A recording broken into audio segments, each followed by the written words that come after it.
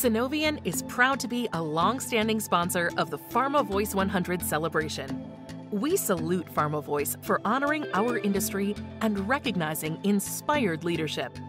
Throughout the last 16 years, Sunovion has stood together with the innovators, change agents, and other leaders in the Pharma Voice 100, recognized for advancing women in life sciences, cultivating intellectual and scientific freedom, leveraging digital health expertise, and collaborating globally to drive innovation. We have joined the Pharma Voice 100 in redefining the life sciences ecosystem. And today, we join you in raising the bar. At Sunovion, we take on tomorrow for patients because for them, tomorrow is everything. It is the promise we make and the challenge we give ourselves every day. Take on tomorrow.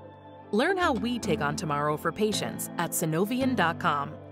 Proud sponsor of the Pharma Voice 100 celebration.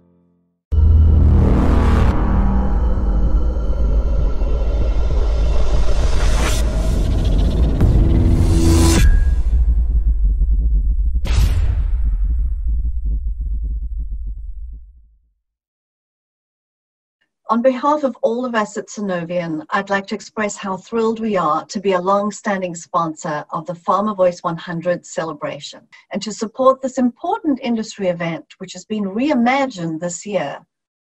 For 16 years, Pharma Voice has recognized inspired leadership and breakthroughs in our industry, and I'm honored to be a part of this program. Together with my fellow Pharma Voice 100 honorees at Sunovion, we have joined together with those who have redefined the life sciences ecosystem. And today we join you in raising the bar. Now is the time to raise the bar for our patients when they need it the most. I have found throughout my career that if you put the patient first in decision making and product design, you'll make the right decision, even in the most challenging times like the one we're all experiencing now. And I believe we can raise the bar for the next generation of innovators, encouraging greater diversity of experiences, ideas, and backgrounds as we all blaze the trail for the next generation of future leaders. As we prepare for their leadership, our industry will continue to push the boundaries of new scientific and technological frontiers to solve major healthcare problems and make tremendous impact for this society this year and well into the future.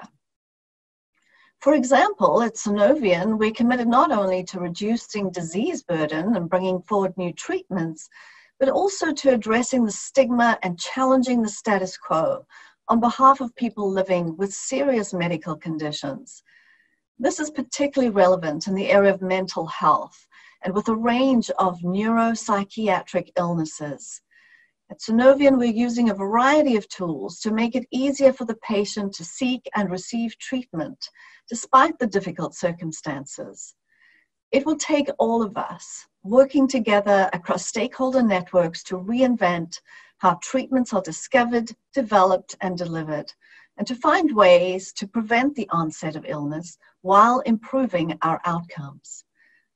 We agree with Taren that the industry must take advantage of this most important moment to step up and be extraordinary, to raise the bar, to make significant and lasting changes for the betterment of healthcare and people worldwide. We share that mission and look forward to the transformative changes we can all influence as we collaborate globally to drive innovation. I would now like to hand over to Taren, who will facilitate the signature red jacket panel. Enjoy this session and the rest of this year's unique Pharma Voice 100 celebration.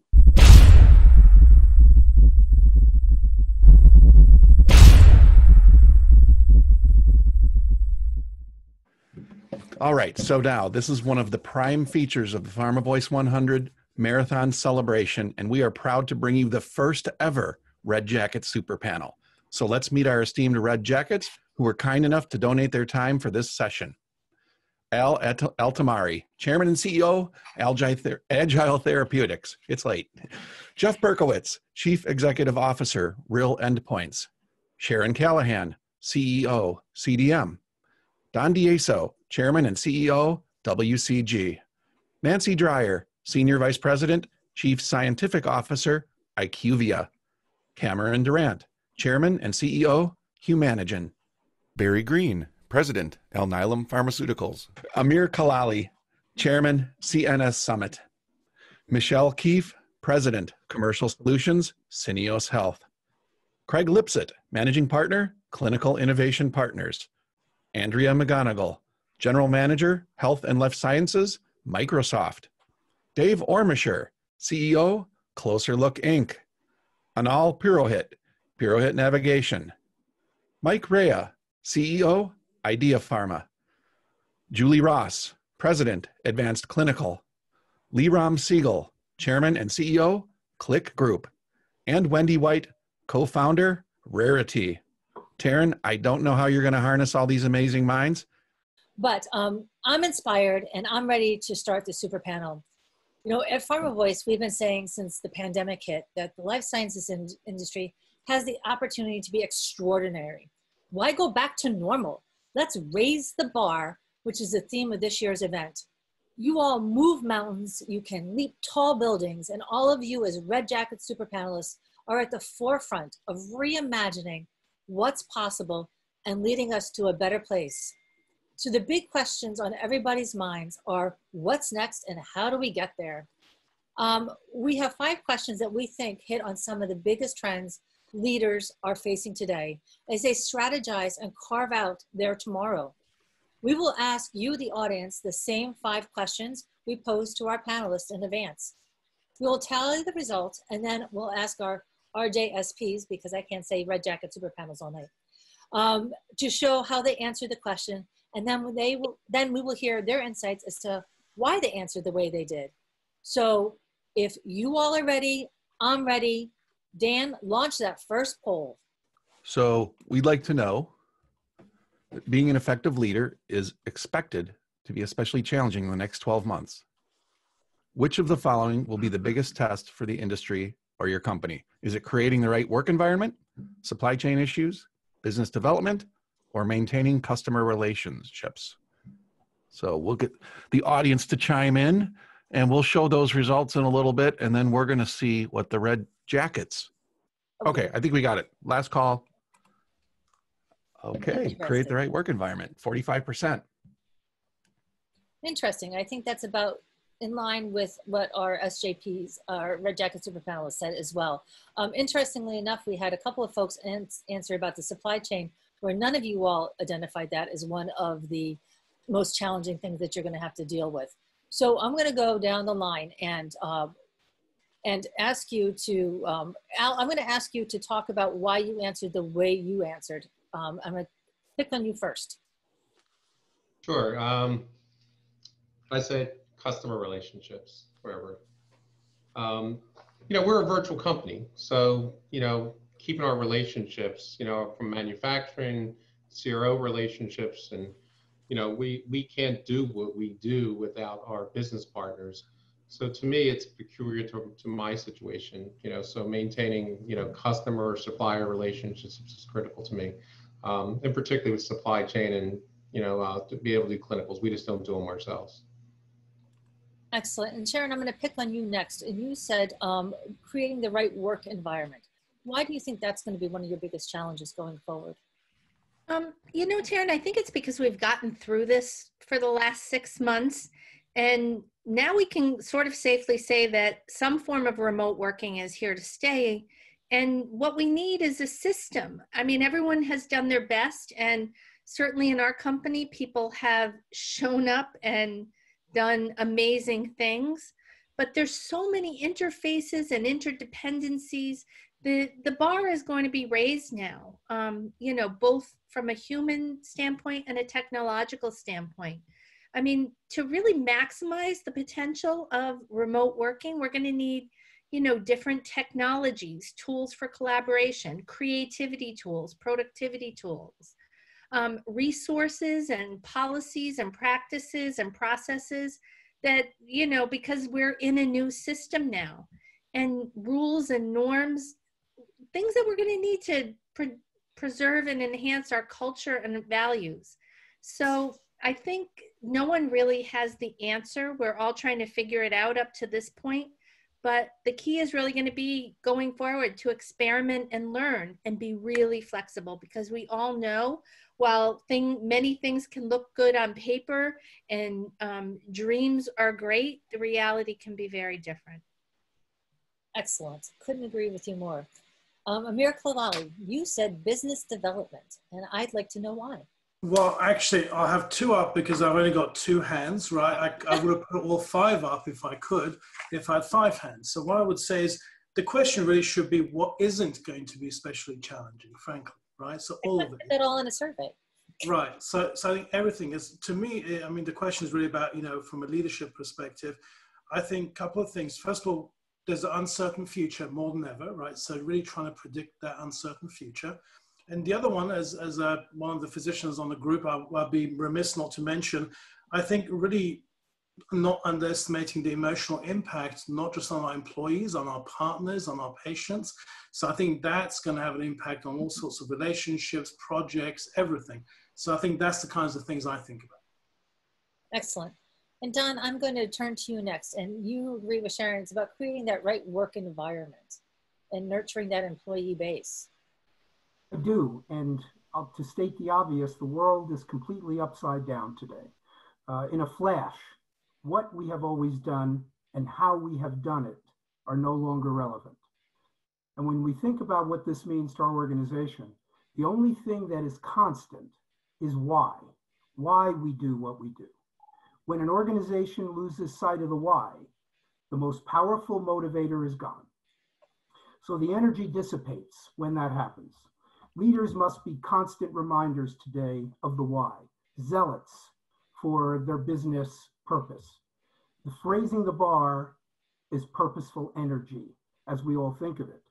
There are ample reasons to be down 190,000 deaths, fight for equal justice, failing economy, and for our industry, the marginalization of science by political forces.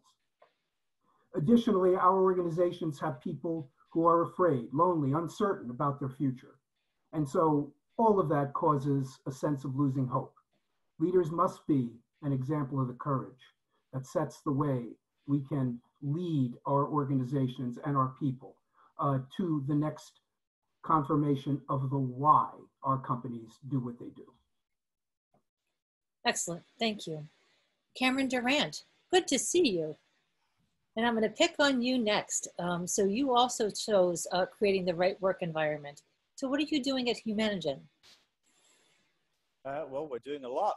Um, but let me perhaps respond with the macro perspective and then bring it down to the individual and why I chose creating uh, the, the work environment as the focus. So, this is the worst healthcare crisis that humanity has had to face in centuries in some ways, this means that we have to press the reset button on humanity, not just our industry, but on so many other things, the way we do those things, and our expectations. So, then, in the context of the work environment, if you have a philosophy, which I do, and I imagine a number of people uh, in this audience do, that in adversity is sometimes the greatest opportunity. And seeing opportunity where others might shy away, perhaps uh, retreat, go into fear, means that for the individual, you can only go further to the extent that you have visited deeper internally with yourself and who you are.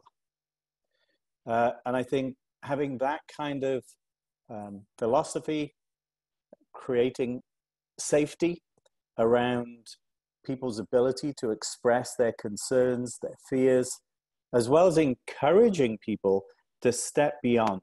And that's what I mean about you, you can only go further if you've really um, visited deeply internally to confront who you are and what blockers may be there and may have been there for a long, long time, if not your entire life.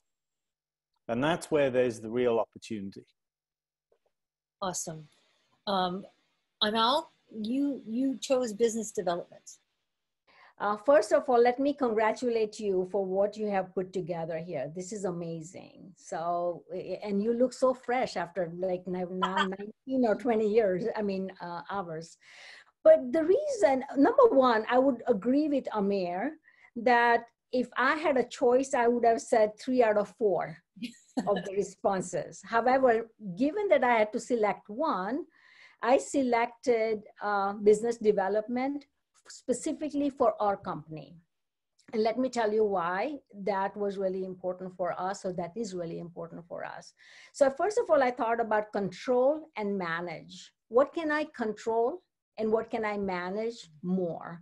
And I felt that I could control and manage our work environment a little bit more because I can make lots of decisions. It's on me.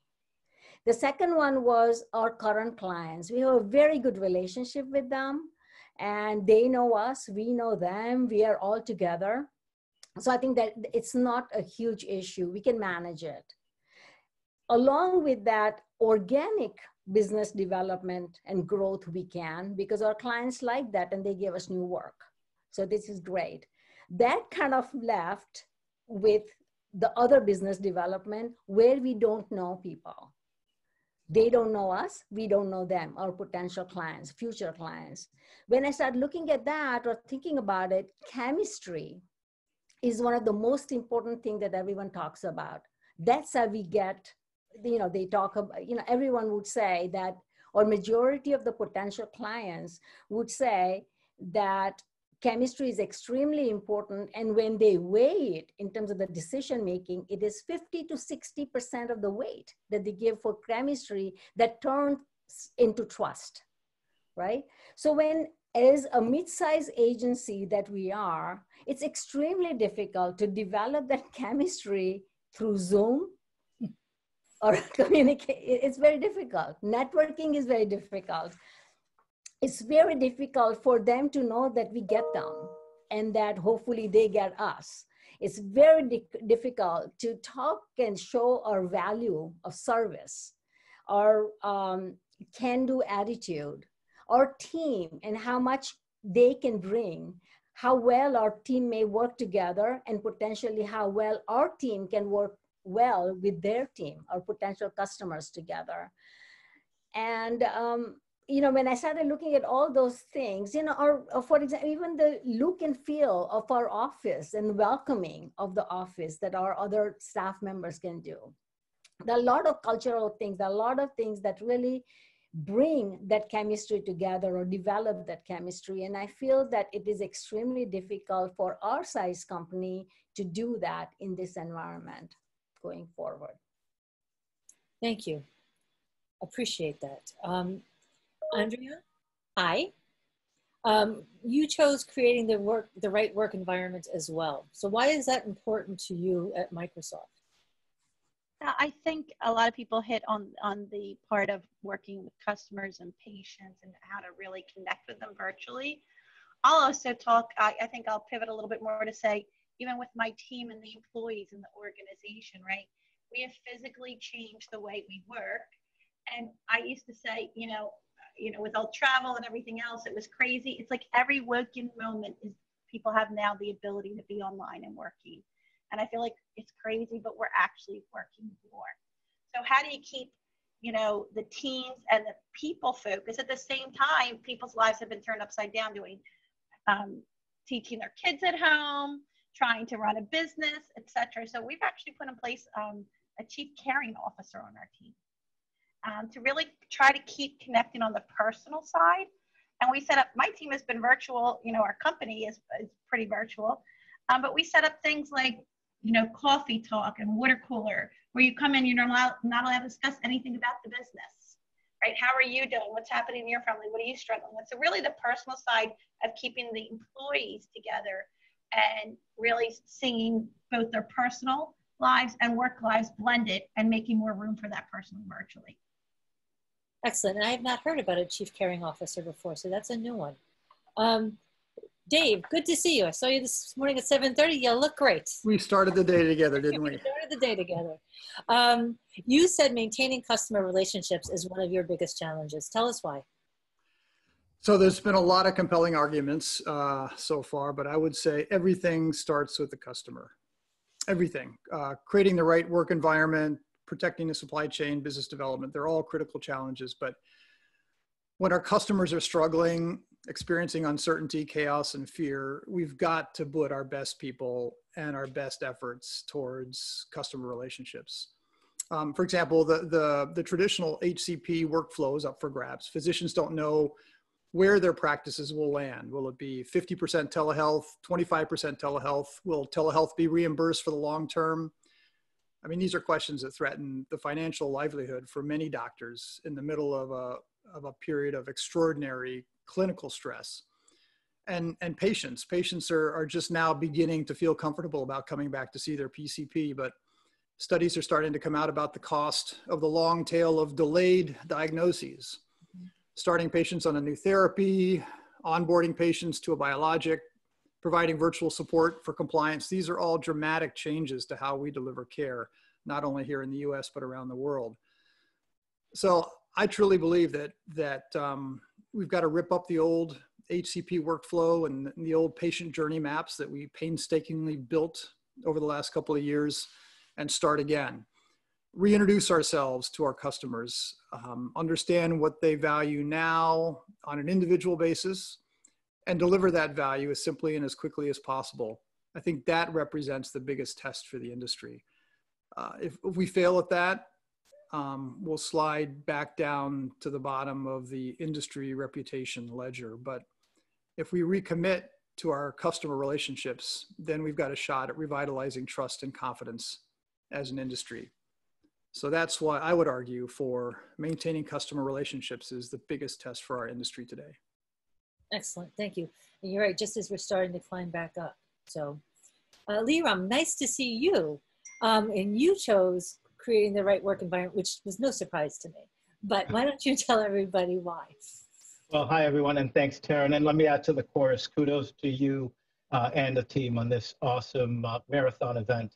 I- will start by saying everybody with us today is lucky. We're all open for business, and although this is certainly not business as usual, we're lucky enough to be working in an incredibly resilient industries. And at times like these enable leaders to demonstrate their principles in action. And I would argue that leadership at all times is fundamentally about people and principles. In our case, that's uh, our highest order principle for 23 years has really been that people first philosophy. So uh, we started working from home late in February. We guaranteed job security. Uh, we also emotional security, and then beyond explicitly committing to uh, keeping our team whole and cohesive. The first stage was really about safety and adapting practices. In some cases, uh, we're finding that a purely virtual uh, form can improve effectiveness. Uh, now, this might sound uh, weird, uh, but although we are further apart, it, it, feels like we're simultaneously also closer together. And, and, that's, I think, because we, we start conversations with, with talking about intimate home life and uh, providing community support and support and, and refactoring supporting roles uh, like a Mojo team or talent experience team. We have many functions, support functions like our facilities or even our live experiences or travel experiences team. Now, these are individuals whose pre-pandemic responsibilities are, are, are simply not necessary today, but we know that these are people that want to contribute. And so we've been able to really learn that we have people with a master's in education that instead of orchestrating travel are now able to provide tutoring and support the Klicksters kids. So the right work environment to maximize creativity as we look ahead, uh, we find that actually looking backwards is instructive because uh, perhaps uh, I, I, think this might be counterintuitive, but but the, the increased effort that is required these days, and when you add to that the community responsibility, the philanthropic efforts, these have actually been a galvanizing force. And, and I think the clear and concise asynchronous communication, some of the tools, some of the daily calls, these are things that will persist. And of course, as we think about adapting to digital delivery for everything for our client, I think this is a time for all of us to step up. Relationships are built uh, in tough times. It's so easy to manage when things are smooth. So our, our, advice is really for everyone to play the long game, invest in automation, revisit all the playbooks as has already been said. But as you digitize all of these touch points, critically think about the, the changing preferences of these stakeholders. And, and I guess the key takeaway for us is culture, culture, culture, and, and recognizing that every year brings challenges. So this is really about how an organization rises to those opportunities, which is why we don't think of 2020 as the year of pause. We really think of 2020 as a year of possibility. I love that. I think this is the opportunity to, it's, it's our opportunity to seize the opportunity that's been given to us and create those silver linings. So excellent. And Julie, I'm going to end with you and you talk to us about business development. Um, I know you already have a winning culture because we just talked about that. Thanks, Taren. Um, I think all of these options are related, right? Um, but when I think of the industry and I think of my own company, I think business development is primarily driven through collaborations, and our industry starts with business development. All of the products we, del- we deliver to ultimately to patients is driven through business development and the collaboration that goes along with BD. I think in order to drive business development, it's all about um, developing deep, trusting relationships. Um, and it's just more difficult when you're sitting in a virtual world. That electronic um, screen time does not let you get down deep and really get to know a person, get to know a partner where you're going to now put two companies together or two individuals together to be able to get to a better business outcome. You know, typically you're used to getting on airplanes and bringing teams together and then breaking bread together, having a drink maybe, learning not only about a company's capability or the other party's capabilities, but getting to know them as people when trust develops, business development starts to happen and it really goes forward. So, in this new world, I think we all have to challenge each other. How do we develop that relationship, that trust that drives BD? I think it's going to take more touch points, it's going to take longer periods of time, but I know with this amazing group of leaders, we, we can make it happen. I agree. And, you know, there was no wrong answer to this question. I was really pressure testing you all to explore some of these different options and ways that we're going to have to look at business going forward. So thank you for your variety of responses and thank you for like your thoughtful responses. I think there's a lot of um, great information in here that the audience can unpack and really apply to their own operations. So Thank you. Um, and by the way, can I just tell you how awesome you all look in your red jackets? I don't think I said that at the beginning. It's really, it's fantastic. Um, Dan, we're ready for poll question number two. Okay, so we'd like to know which leadership skill have you had to rely on the most while leading your organization during the pandemic? Okay, I'm going to say last call and close the poll. Let's share the results. Empathy, number one, pretty good lead. Yeah, I, I, mean, I think that's something that we've been hearing throughout um, the day as well, through our 24 hours of talking with. Oh, I'm sorry, red jackets. I forgot. Show your show your responses. Excellent. And so we do have a variety of folks um, of answers, and empathy is certainly one of the top ones uh, with you all, as well as with uh, the folks that we've been engaging with all day. Um, you know, it's interesting to me that I didn't see team building as um, one of the things that you all are focusing on right now. Um, but there's so many other things to focus on, so I can see why that would not rise to the top. Um, Sharon Callahan, I'm going to pick on you first to talk about why empathy is an important um, skill, has been an important skill for you over the last several months. Sure, and I really think it builds on the last question. You know what Don and Cameron and Julie and especially what Andrea said, we all have to uh, have a chief caring officer, and maybe we all have to think of ourselves as chief caring officers. Especially, you know, leadership and uncertainty requires an essential skill. It's making yourself available and really vulnerable enough to feel what it's like to be in someone else's shoes. And that's really what leading with empathy is. Um, you know, for me, the scale of this pandemic has made empathy a little easier because we're all going through the same thing. But I'm going to be really honest and say sometimes it can also be really numbing. Um, you know, it's hard to be present all the time, especially on this screen all day long. It really requires a level of energy and attention that I don't think I've ever experienced in my career. And, you know, at the same time, there's kind of a leveling of what's happening between people and tell you a little story. I was recently talking to a new client who is a very high powered woman. She always shows up perfectly and is very much in control. And she was going on and off the camera and shushing her little daughter who kept showing up in the background. And, you know, I just stopped the meeting and asked her if we'd better if we talked that night after her daughter went to bed. And, you know, I just said, it looks like you have your hands full, and my kids are older and I don't have the same pressures that's, you know, I think, Julie, what you were talking about, creating trust, creating mutual common ground. And it's really going to be what's required going forward as we're working this way.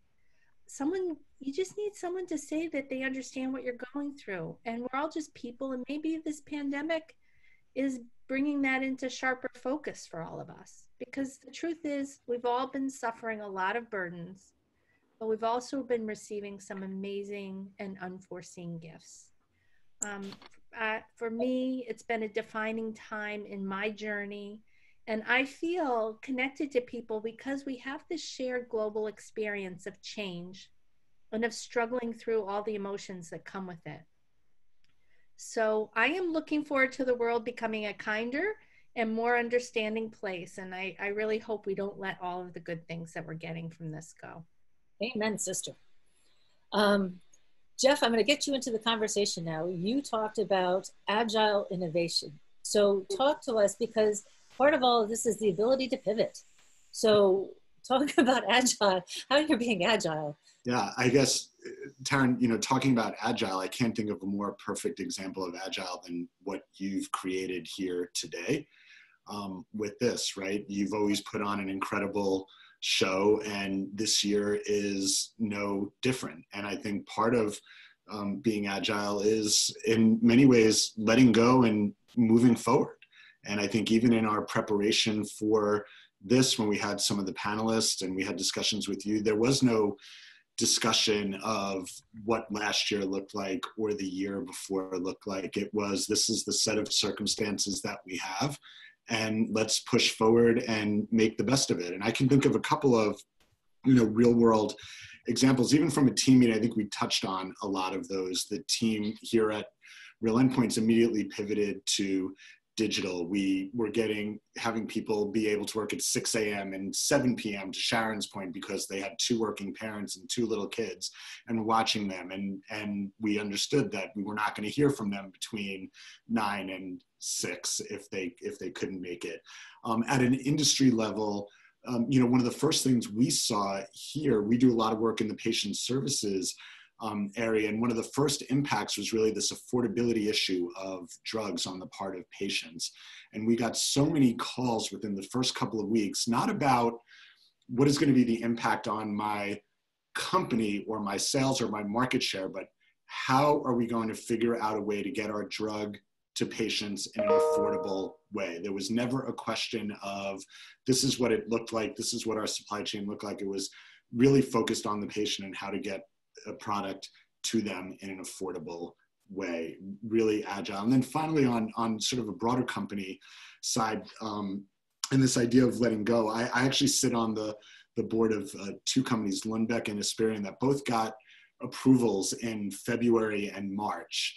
And imagine working on something for 10 years um, at Esperion to bring a brand new product to market or spend $2 billion on an acquisition, get the approval, and then all of a sudden every plan completely blew up. And I, I've never seen such agility from teams like that, where again, it was a complete letting go of all the plans, including a massive 500 person um, launch meeting um, that nobody could obviously go to. And those teams just continue to just march forward and figure out virtual detailing, advisory boards in a different way, getting data in a different way, medical science liaisons, and they never did come back to the board at all and say, well, this is, you know, woulda, coulda, shoulda, but this is what we're doing moving forward. So, so in my mind, the, the agility piece, again, as completely evidenced by what we're all doing here right now, uh, tonight at, at close to eight o'clock at, at night is, is just such a critical part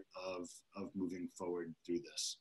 Well, well, thank you for that. And I have to say, while I'm the face of this, uh, this is really the vision of Mara Walsh, and there is a complete, exhausted team behind me who's been working on it tirelessly for the last, I don't know, six weeks or so. So it's really the, the credit goes to them. Um, you know, Wendy, I'm going to drag you into the conversation now, and we're going to talk about why you chose empathy. Yeah, well, first of all, I hope your team is uh, was paying attention to the cocktails. Um, why did you have one? or at least in a, in a little bit, right? As we uh, as we as you go into the home stretch, and what a fantastic um, example uh, you've provided for pivoting and uh, and making this really effective. So for me, um, we um, uh, have um, started a relatively new company. I'm building a global company here in the middle of COVID, uh, doing uh, global managed access. Half my staff is in Europe. Um, and uh, so we're on Zoom calls. Everybody's in a different time zone. And I, uh, one of the things I love, Andrea, the idea of the chief caring officer. That's we don't have one of those, but we really have come to understand that um, when in America we get up and say, "Okay, I'm ready to go," some of the people in Europe are going, "Oh my goodness, I am at the end of my day," and so we sort of have to take a breath and go, okay, how's everybody doing before we sort of get into business because people are at different rhythms. Also, um, I've also discovered that um, our European people speak a different language. I'm talking about the ones in Britain. the other, the other English. yeah, it's uh, it's amazing. Um, just all the conversations that we're having um, in terms of building trust and and actually what you mentioned before of team building, um, because that's really what we're doing. I mean, we're talking about empathy, but I think empathy is critical. One, to think about where is everybody coming from in this incredibly challenging, but also this opportunity for all of us to be in it together, um, as Sharon was talking about. Uh, because of the unique challenges um, that everyone is having and really being careful about that and thinking about it and giving people the space to have sort of water cooler conversations and to connect and to build teams in our case globally and to really listen especially when someone like i said is speaking a different language which we didn't think they were and yet a lot of words have very specific meanings even if it sounds like you know you're speaking you're saying the same thing. So uh, i think uh, that's that's uh, it's just critical. Empathy is is is uh, so important and i also am optimistic. I think as uh, sharon said that that this is something that we can take forward um, into all of our interactions moving forward because as we have more and more diverse workplaces it's not just the language like that it's like everybody coming from a different place you don't know what they're dealing with. I mean it's it's right in front of our face this year but we never know what everybody's dealing with. Um, and so i think it's always important to be careful and thoughtful um, about thinking about um, where to meet people where they are and to think about how you're going to work together to solve these complex challenges that we're faced with. Absolutely. And, and Wendy, I've told you more than once, words matter. So, right? Um, uh, you know, Julie, I'm going to turn to you again for you. You answered collaboration, and I think that goes back to your previous answer about business development. So, if you want to just give us a little bit more about that, and sure, I think Sharon, Jeff, Wendy totally in alignment with with empathy, empathy and agility. I think over the last six months, four six months, I finding myself leaning more more on collaboration skills, and I think it's coming from a place of recognizing that more than ever, we're operating in an isolated environment. We have all those unplanned distractions more than ever before. And as we sit on the webinars and we're asked to collaborate, which is really where you put individuals together and you're looking for a common purpose to achieve some kind of business benefit, the technologies now are helping us extend participation to an ever greater number of people. But as we have more and more people sitting in this collaboration space, um, as the team size increases, the tendency to collaborate can naturally decrease if we don't have the right conditions. So, as a leader and with my leadership team, I think it's all about championing collaboration, executive support first, then making sure we're investing in the social environment around the meetings we're having.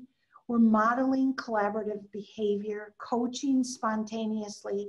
And then I think you have to continually look and challenge leaders to be um, both relationship skill based as well as task. Um, and when we do that, I think we can still collaborate in a healthy um, environment and push the results forward. So collaboration for me has been a big thing that I've been looking at, leaning on. That's awesome. That was one of the, of the themes that really resonated today throughout all of our conversations. Um, Leerom, you ta- also talked about empathy. Um, so tell us why this is now a skill that is even more important today than ever. So I think empathy, vulnerability, communication, and, and listening uh, are all incredibly important skills all the time, but especially now. And, and I think optimism too. Optimism can, can exist simultaneously with stress, anxiety, and the challenges and abundance of which are obviously being generated by these unique times. Uh, but probably the most non-obvious learning for us was the degree to which uh, some of these things are upstream. Uh, for example, hiring practices.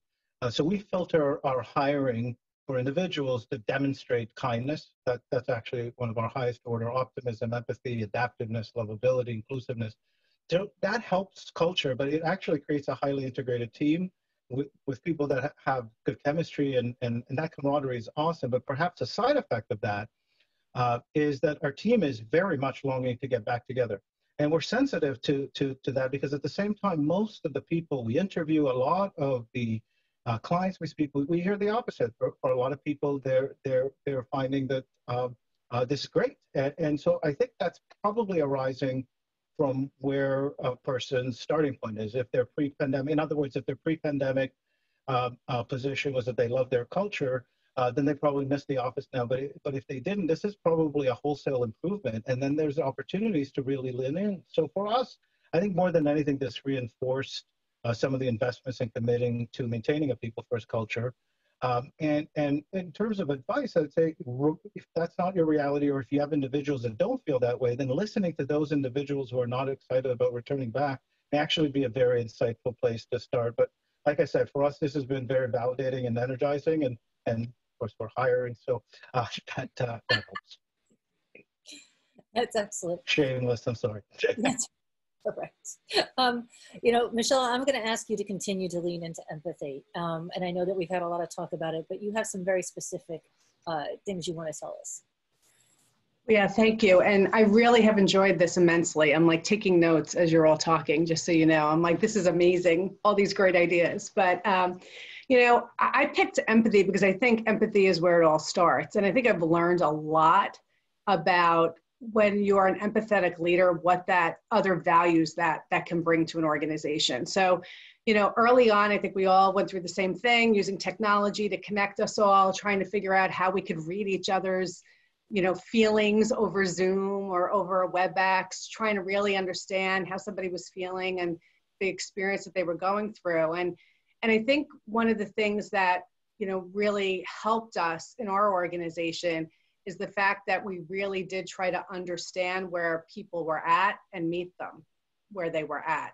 Whether it was dealing with homeschooling, I mean, uh, you probably, and, and Sharon, I'm sure you both can uh, totally appreciate our workforces are a lot of people with children at home, the majority of the people that work in our types of businesses and um, really understanding where they were at, what they were dealing with, what strategies that we could bring forward to them to help them be successful in you know achieving their work with customers and with clients as long as well as they were you know thinking about how they could support their children and i think the thing that i, I loved is because we did a we called it a listening tour we spent like the first month really listening to everyone in every key role in the organization understanding what was getting in the way or what kinds of things they would like to see us do. And I think we uh, built a lot of flexibility into how we got work done. And I think the thing that amazed me the most is that, you know, here we are, a bunch of us senior leaders, and it's really important that, you know, we support um, the organization and help the organization stay stay inspired and focused. But the thing that I was totally amazed by was the inspiration of the human spirit of the people on our teams.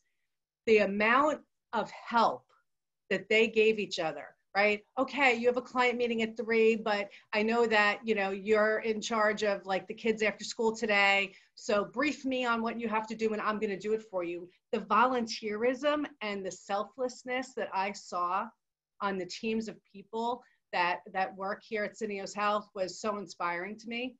And i think that started because of that listening tour that empathy to try to truly understand where people were at.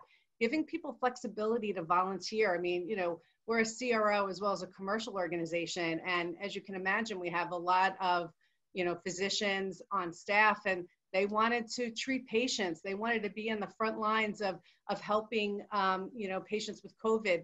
We had employees in, in London that wanted to volunteer to actually do the, the COVID testing because, and, you know, we opened up our parking lot of our corporate headquarters in London to, to, to funnel through um, COVID testing. And we had to figure out how do you balance your biz how do you balance the business needs that you have with uh, really not forgetting why we're in this business which is to really ensure that patients get the best care and they get the best medicines. And you know balancing those two very important you know goals that we all have. And, and i think it started with with empathy.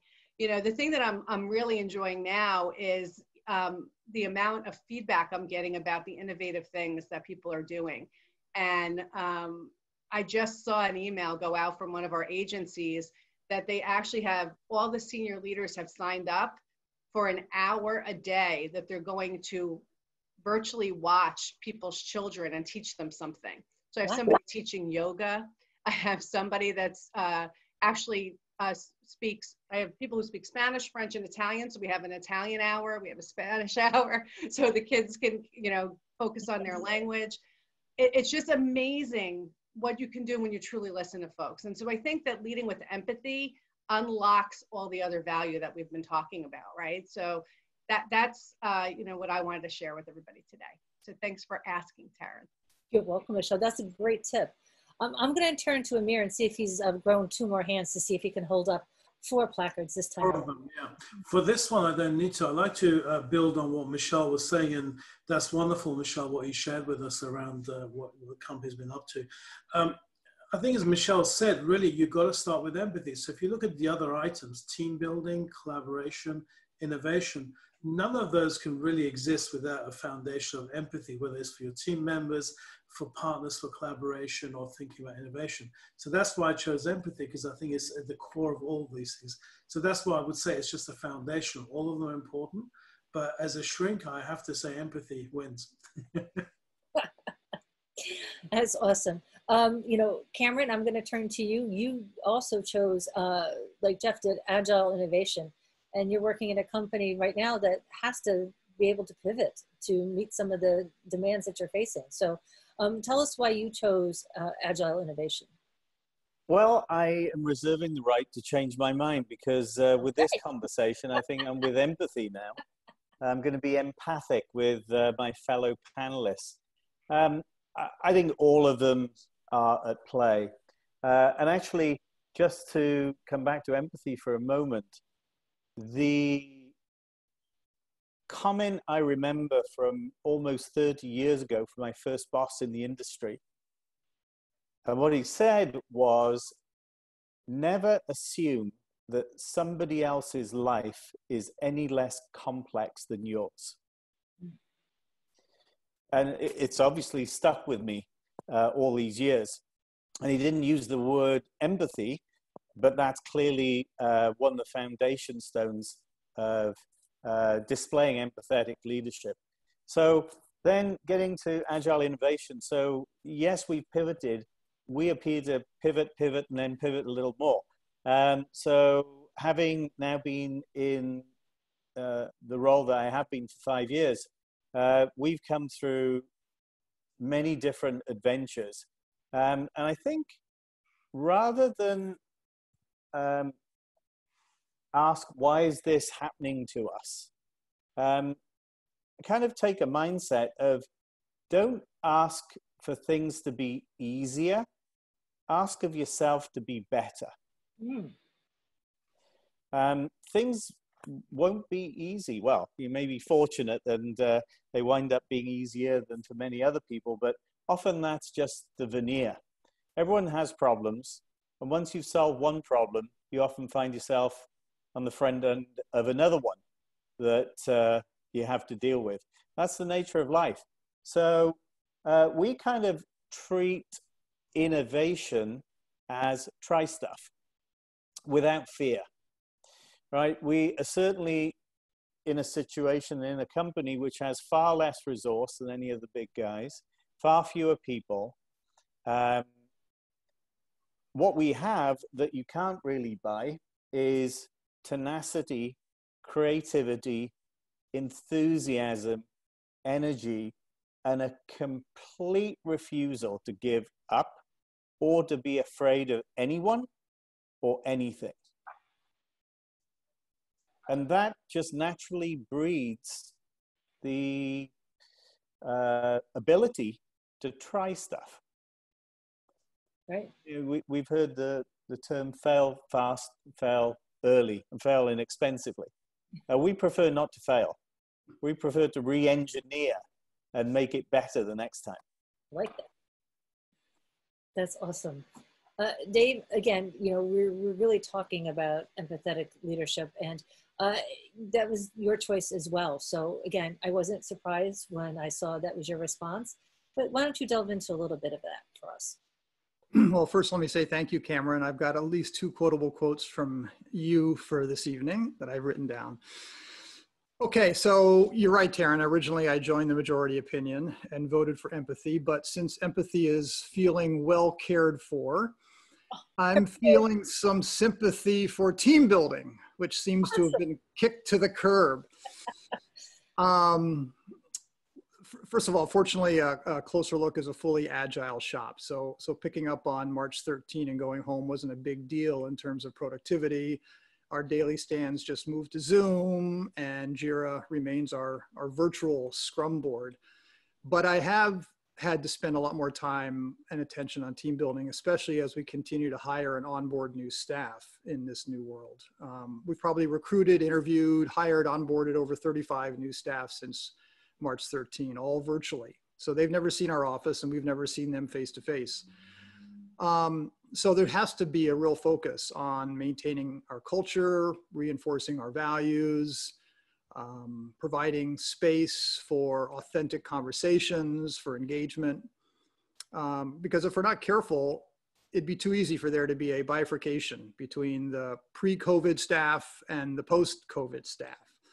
The pre-COVID staff, they all remember what it's like to hang out together and everything is, is sort of assumed and we give each other the benefit of the doubt. But the post-COVID folks, well, we're, you know, we don't really, we haven't seen them face to face.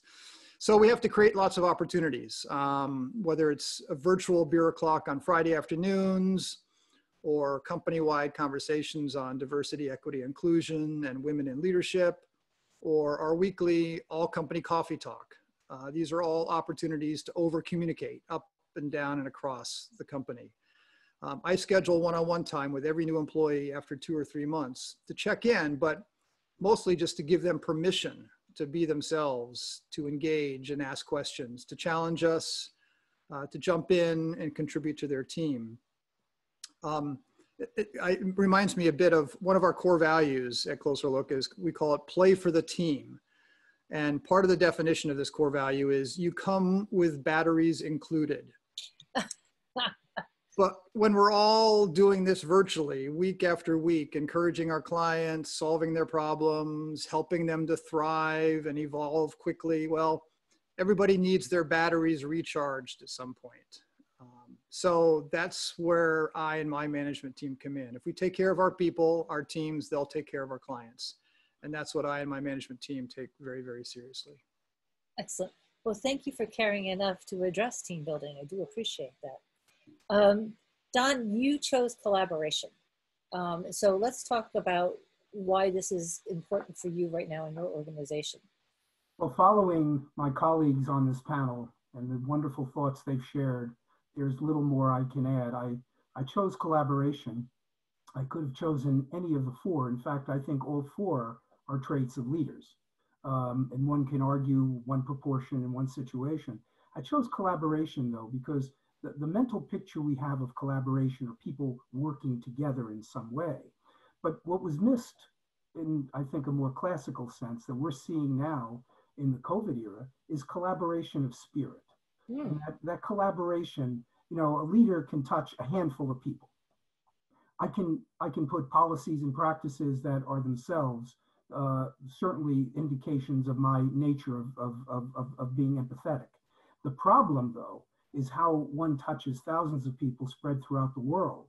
And I have been absolutely amazed at the stories of our people without, without reason, without being advised to do so. Will do things like send dinner to a colleague's house because they know that she's busy um, taking care of her kids and tutoring them in the evening and she's got a project to do. And if they send dinner, it saves her the trouble of cooking so that she can spend more time with the children. And there's anecdotes and stories of that that are collaboration of the highest kind. They're not doing the work or, or let's put our heads together to get something accomplished. They're putting the spirit and souls together so that we can hold an organization together. So I choose to think of collaboration while all four are perfectly reasonable and leaders' traits collaboration in this era feels different to me.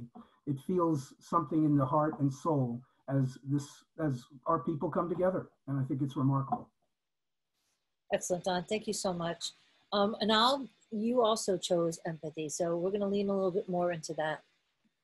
Okay, thank you, Karen. yes, I did. Uh, you know, it'd be kind of interesting if you had asked this question one to two years ago, what would the response be? And I would think that empathy would not be as high as it is right now. So I pretty much started thinking about, uh, you know, Harvard Business Review and what you talked about with the emotional operating system. And there is like a huge overload on that operating system. And if you think about why, it is, you know, it's interesting in the beginning of this year or last year, when we talked about disruptive companies, technologies, we said, yeah, that's going to happen. It'll take a while. Even Amazon didn't do what COVID has done to us in like one month. right. So that on, you know, the whole psychological overload in terms of how quickly it hit us, we don't even know how long it's going to hit us. I remember when we closed our office, it was initially, oh, we'll be back in maybe two weeks. Then it was one month. Then it is June. Now it is January, but we don't know. And when you start looking at all those things and the uncertainty in terms of the disrupt, the, the length now, one day we have hope for vaccine. The next day, whoops, there's an adverse event there's so many things are happening that are outside of our control that I feel that as if I want to be a good leader in my organization, I have to show that empathy. If I don't show that empathy, nothing is going to happen right now. Then the team will build, build because they know that we care and we and and what we did a survey with our employees in terms of you know what are their concerns? When do they want to come back? Etc etc and it's interesting because yes there are patterns and majority of them agree but their small micro issues are different. Mm.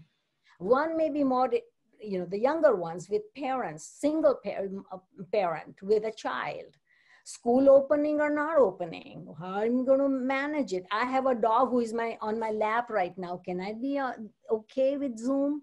I mean there are little little things but they become huge big concerns from them. That kind of build and then there is that overload. The only way we think at least for our company is for our core members to be empathetic and understand different people and their uh, needs in terms of why they are worrying, what is worrying them and what can we help them with that. One was in, in, you know is, is really worried. What happens if i get covid? And i mean the person you know i have older parents who's going to take care of them? Or what happens if they get it because of me you know. So or, that i'm not worried about me because i'm younger and healthy nothing is going to happen but i'm worried about this one. I'm worried about my children. I'm worried i mean the list just goes on and on in terms of what their worries are. If i show empathy hopefully they'll open up and, and my team of core members if we show empathy you know empathy maybe they'll open up and we will be able to know what are the strengths in terms of togetherness for the team and where are the weak links in terms of that psychological overload that they have. It's a psycho mental psychological it's the physical it, it's like you name it and there is an overload right? And and again since it is different i think that we have to be first in our for our organization be empathetic understand that and then start building that team and collaboration also will come. Excellent. And al i um, um you are last on our list here for this um, section. And one more lean into empathy. Yeah I'm, I'm just like Michele said earlier i'm just writing notes. I mean the, the ideas and the the thoughts process are wonderful. I mean, um, I agree with the, previous comment. I mean, you know, if you asked me this five years ago, this wouldn't be on, probably my number one. Um, you know, I look back at March, you know, all the daunting things we went through to close our office and, you know, get people now that, that looks easy. That looks easy. that was a, getting a bunch of computers and Zoom to work now seems like child play. Uh, this is the hard work. This is really, really where it begins. And I just, I'm just going to probably give a couple random things. Um, know, we're, we're, we got our drug approved in February, which is relevant to a couple of comments earlier also. We're building in the middle of this. So I've, I've not met most of my employees face to face, you know, which is mind, mind blowing for me. I mean, uh, we've hired people that we probably might not meet for months, you know, which is in, in, incredible. Um, but one of the things that I, I just give you the practical side of this, I mean, we're Syneos client, you know, where we're going to use them as our sales force and they they have thousands of reps on the street and you know then i just you know we're just saying okay what what what, what are we learning? They have weekly focus groups with their reps and their field and doctors and it's almost for those of you who get the reports it is almost unwielding but i kept saying what's the insight? And even at the rep level the number one criteria they said higher on is, is empathy which as a sales manager that would have been my number one. You know, most of us don't hire empathetic reps. I I didn't. I'll fess up. Uh, you know, uh, now now I did. 68 of them. 68 of them. They better have empathy. You know, um, we we screen for it. We look for it. We we we we hire for it. Look, I mean, they're they're you know we're going, we're talking to doctors who are barely paying their bills. You know, we're you know that are just struggling to keep their staffs on on the payroll boy, empathy is not a game. It's not a game. It's a job requirement at our company. Um, I do agree with the other comments that are made. A couple of folks said, I mean, you get it, you get it. Like I've learned things about people that work for me for years that I've never known. Shame on me. But you know, I I, I know it's obvious, but I, I I have tremendous respect for caregivers now. You know, whether they're parents or taking care of elderly parents. I mean, boy, I've learned things that I just just took for granted with my employees. Just took for granted. I mean, um, it's amazing. It's just amazing. Um, shout out to everyone that's doing it. It's just not easy, even on a good day, much less this. But I, you know, I guess show my empathetic side. I, I worry about our employees. I mean, we monitor vacations. I don't know. Vacations are gone. They're gone. I don't know where I, people don't take time off. They don't. So I worry about their physical health. I mean, the COVID 10 is not a game. I, people aren't exercising. People aren't eating right. You know, people are staying up too much you know, Ty- Taren, we're all worried about you. You better better get a good night's sleep after all this, and you know, get some sleep. Um, no, but you know, I, I worry about our employees, their their mental health and their physical health. You know, we give we do lots of crazy things. We give random days off. We just close the company on a random day. We don't even tell people we're doing. I just declare it. I'm like, done. We need a day off. done. You know, um, we send gift cards to people randomly. You know, all employees just, and we say, post some pictures of what you bought with it. You know, and you know, they're, they're just wonderful. They're just wonderful. So, and we're trying. I don't, we don't have all the answers. And then for me, with a Fitbit on my arm every day, I probably log more miles in the home office walking the halls, and I don't do it. So the question the employees say, like, how are you going to walk the halls? I just show up in Zoom and people get scared and turn off their cameras and you know but uh, no that's a hard one for me I, I don't know how everybody else feels that's a hard one i mean walking the halls is not easy electronically you know especially when you know people are overloaded with these calls to begin with and i you know what somebody else also mentioned we like i have coffee with every employee every new employee you know coffee with al know, i got a coffee cup in front of me you know i generally wear a t-shirt or something laid back and just just talk to me just talk to me so i don't it's probably the number one skill with our sales force, the number one skill in our company right now. It's the glue that's holding together our company. It's the glue. It's just not a game. But I also let my hair down. I tell people how I'm struggling and, you know, my crazy life and, you know, so you kind of show, show that you're vulnerable too. I think, you know, it's not a game. I'm, I'm, I, I probably have learned a lot out of this experience just to be more honest about what's going on in my life. And people seem to really get it. You, you, you open up, they open up, right? It is, you know, as I said, I mean, it's just it's like somatic, and maybe I feel better. Maybe I need a hug too. Um, so I think it's an important trait, and it's not a game anymore. It's just probably. I hope it stays with us. I hope it stays in our DNA now. And if we open back up and return to some normalcy, I hope that becomes a new normal. Empathy. I, I don't know that we can put the toothpaste back in the tube. I think we're we're past that, and we're going to move forward. So, um, you know, this is a really inspiring conversation for me. I've got chills and I too am jotting down notes furiously. And certainly we don't run as large of organizations as you all do. Um, but, uh, you know, there are some great tips in here. If you're a leader right now you need to know what your teams are doing, you need to know how your company, because they are the backbone of your organizations. Your companies are, you know, a company is not a building, a company is your people. So um, kudos to all of you who are really working hard and, and leaning into all of these areas that need to be addressed um, to make sure that we do keep the lights on. Um, we're ready to go to question number three. And I promise, Mike Rea, I'm getting you in here. I know how late it is for you. So.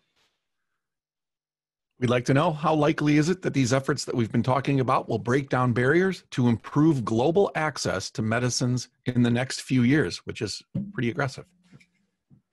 All right, and the poll and share the results. About half the people think it's it's pretty likely. That seems optimistic, and that's good. And thirty percent very likely. very likely, likely, and then not likely. Yep. So, super panel, show us your results. Okay. Some cynics out there. Saddens me to no end. Um, so, um, Mike, I promised I'm going to get you in here. And thank you so much for staying up. I know it's probably what, two o'clock in the morning, three o'clock in the morning for you. So thanks for being with us and, you know, tapping into whatever energy drink you got going. Um, so you answered not likely, and please tell us why. Well, yeah, I feel this has been a nice panel so far and, uh, and a very positive one. So I, I, feel slightly guilty wrestling a thorny issue with a negative comment, but um, real. Yeah, I think that uh, I think it's important for us to uh, within this industry lead, not just evangelize for it. And I think that uh, I think we should be calling out when our industry is uh, is not living up to our hopes and ambitions for it. Um, and this is one, right? I think that I've seen this from the beginning. This pandemic is I use this metaphor of if you're kind of journeying journeying along a mountain road and this boulder drops you know, some people will just wait for someone to come clear the boulder. Some people will try and find a way over it or around it. And some people will say, well, should we have gone back and done something different? And I think there's a lot of people in pharma are waiting for the rock to go or, or they have found a way around it. You know, they're try, trying to do business as usual, but business as unusual. Um, but I think this is an area where we haven't really seen the signals that we're going to try and improve access. I think if we were going to see a change in business approach to stop favoring the United States, to stop favoring high priced medicines, to stop favoring rare diseases and orphan diseases, we would have seen it. And I think apart from the odd kind of bright spot, like, you know, Moderna saying that they were going to take longer to include a, more diverse population in its vaccine study, that's a bright spot. And we should be, you know, enthusiastic uh, about welcoming that kind of behavior. Um, those kind of inclusion signals, you know, we've had that flag not just from the pandemic, but also from movements like Black Lives Matter and other ways of addressing inequities within our healthcare system, you know, particularly within the United States, but I think that's shone a light on, on everything else. The challenge, I think, is that we have an industry that lives in 20 to 40 year cycles. You know, the money that comes in today is paying for the medicines that we might see in 20 to 30 to 40 years time. So we're still seeing uh, cancer, we're still seeing, you know, high price rare disease, cell therapy, gene therapy being targeted as a development candidate. So we're not seeing pivots to, you know, global uh, health issues. Um, so then the question comes, well, are we looking at different financial models? And there's been this, you know, I don't know if we're, we've all called it out enough. We've seen this remarkable change in funding this year with the world's biggest ever X Prize. You know, we've had governments basically saying, we're going to give you 3 billion, we're going to give you 5 billion if you can get us a vaccine on time. So like Peter Diamandis times, times a billion, right? You know, that kind of a, an, an approach and companies have responded because there's a huge prize, uh, you know, at the end of that rainbow for the winners. And I think we've seen 130 companies um, kind of coming down the uh, coming down the turnpike, hoping to kind of uh, to, to, get some of that to get some of that money. So we know that an X prize could yield results. Why don't we have an X prize for antimicrobial resistance? You know that kind of thing uh, has has always been interesting, and I think we've got that X prize because this has affected America this time you know, before when it hasn't affected America, we haven't had the same degree of, you know, where's the malaria X prize? Where's the, you know, where's this, you know, the, the, the other kind of vaccines that we've been calling out for for a while. So I think, you know, we as an industry, I think have spent a lot of time saying, look, this is an opportunity to improve our reputation. And then we go, yes, I know remdesivir, yes, but uh, there's the, you know, maybe the next time, the next drug that comes, they won't do that. And then we will keep stumbling over ourselves in this desire to do business as usual, um, but just during a pandemic. So I think, you know, largely I feel that our reputation is unfair to us. You know, the people who work in the industry, I think, get into it to make a difference to people's lives, to, to, to do things that are meaningful. I don't think that our reputation is fair to those people, but I do think our industry and groups like pharma as a lobby group I think, damage our reputation by PRing the, the, the hell out of, uh, you know, insignificant initiatives that don't really address these issues. We're being called out, we're being given huge issues to deal with, you know, the, the, the lack of, you, know, even female inclusion in Alzheimer's studies, you know, the lack of, uh, of, of, uh, of uh, you know, racial uh, groups and uh, socioeconomic groups in, in, in, our studies the lack of focus on diseases that affect uh, countries outside the United States and the EU. We've been given those signals for a while. We've been given that as an opportunity. So I hope that we can move towards it, but I don't see any signals that are, you know, major companies are really doing anything other than throwing the company at a vaccine uh, this year and then hoping to go back to all of the kind of big, uh, you know, the things that are paying the bills in the, in, in the next short while. So, say it feels like a negative note in what's been a remarkably positive panel so far, but uh, uh, I, I, answered not likely because I just don't see our companies responding that quickly to, um, to, to, to, to the questions that we're asking.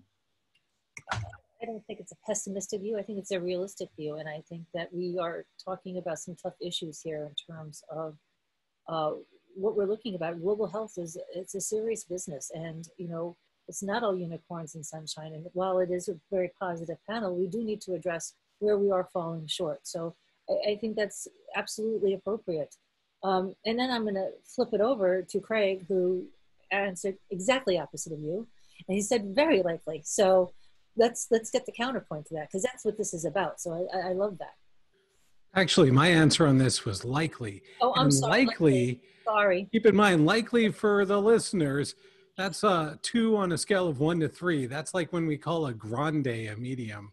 Um, so, and the reason that I, I went down the middle on this is because I really have some mixed feelings on the topic.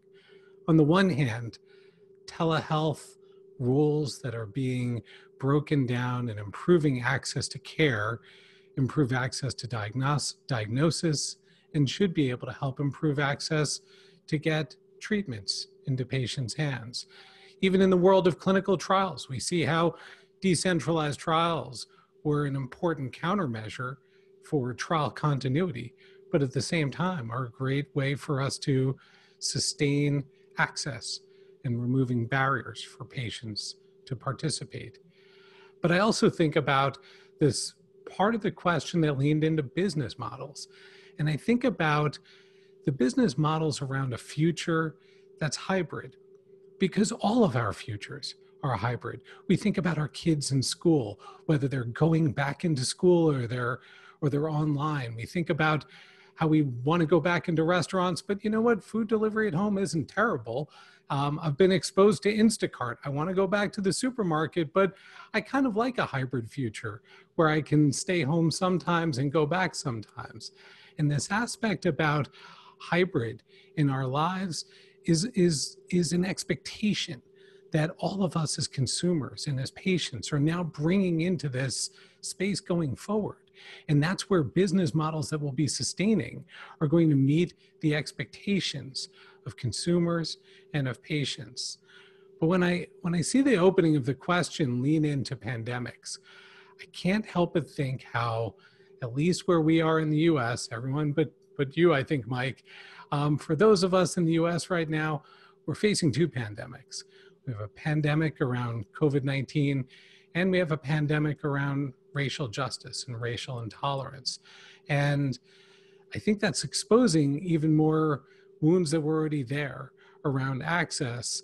And that's probably what's bringing me down a little bit in terms of some of my optimism, because we're seeing dollars getting put out as a way to, to show that we recognize that these intolerances exist. But are we seeing sustaining change in terms of how we're engaging? And I'm just not sure. Fair enough. Um, and just for the record, Lee is in Canada, so we do have two people not from the U.S. here. Just wanted to point that out. Um, Nancy Dreyer, you also said not likely. So I'd love to hear why that is for you. Well, you have to uh, remember that I sit outside the pharma industry. I'm an epidemiologist working for a big company that tries to study safety and effectiveness and some economic models. But the uh, look at the problems we're going to face just in the country I live in, in the United States, over distribution of vaccines. Right? It's it's these are big, complex problems that we're dealing with. I have long and good relationships with the WHO, but solving um, solving all the world's issues so that we can get drugs distributed to the right place is the holy grail we're all going for.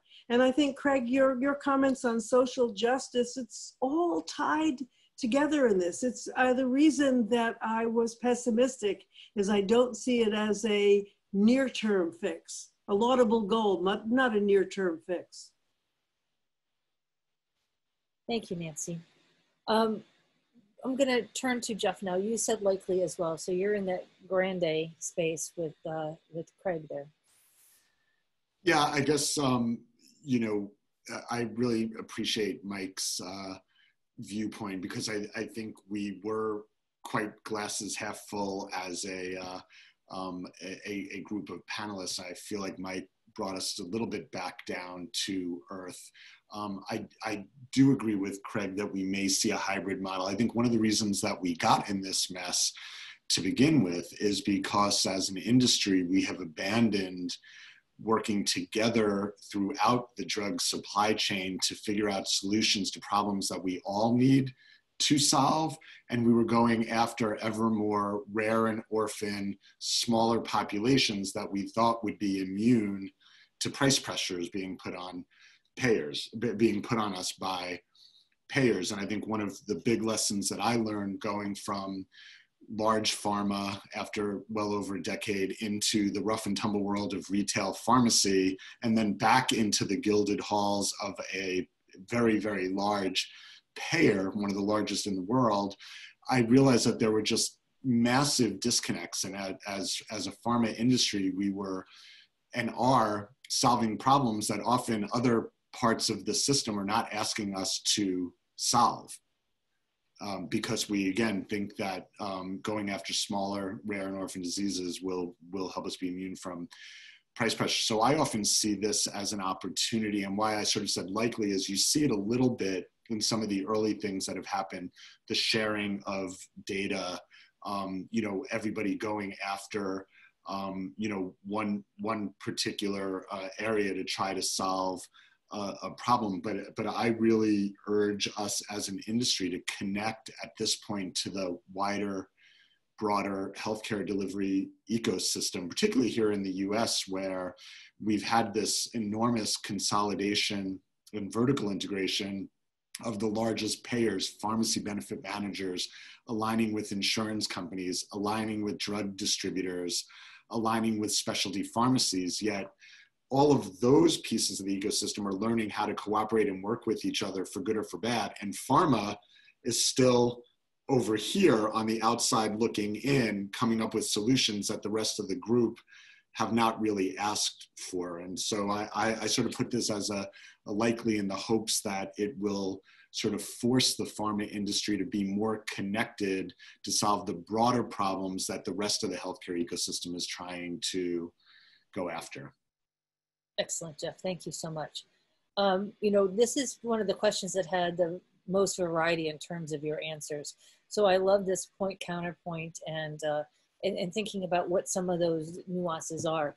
And Sharon, you um, you you answered optimistically. You said very likely. So let's hear from you in terms of why you think this is.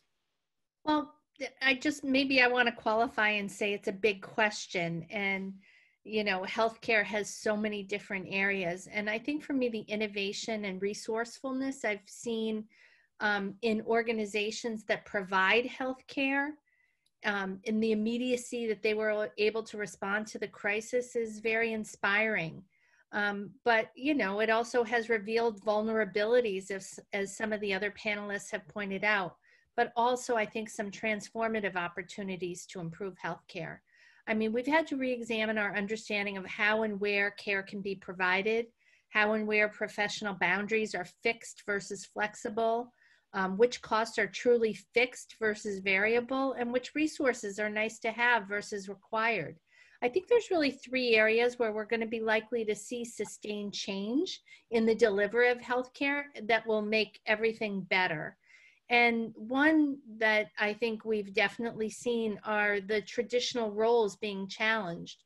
It's shown us um, that the demand for service in many medical specialties declined, but while the overall demand for clinicians increased, and we've been we've seen doctors and nurses and other healthcare professionals redeploy um, at, and and be able to work um, not in such a silo. I think um, the shift, someone else mentioned the shift um, to remote and at home care delivery.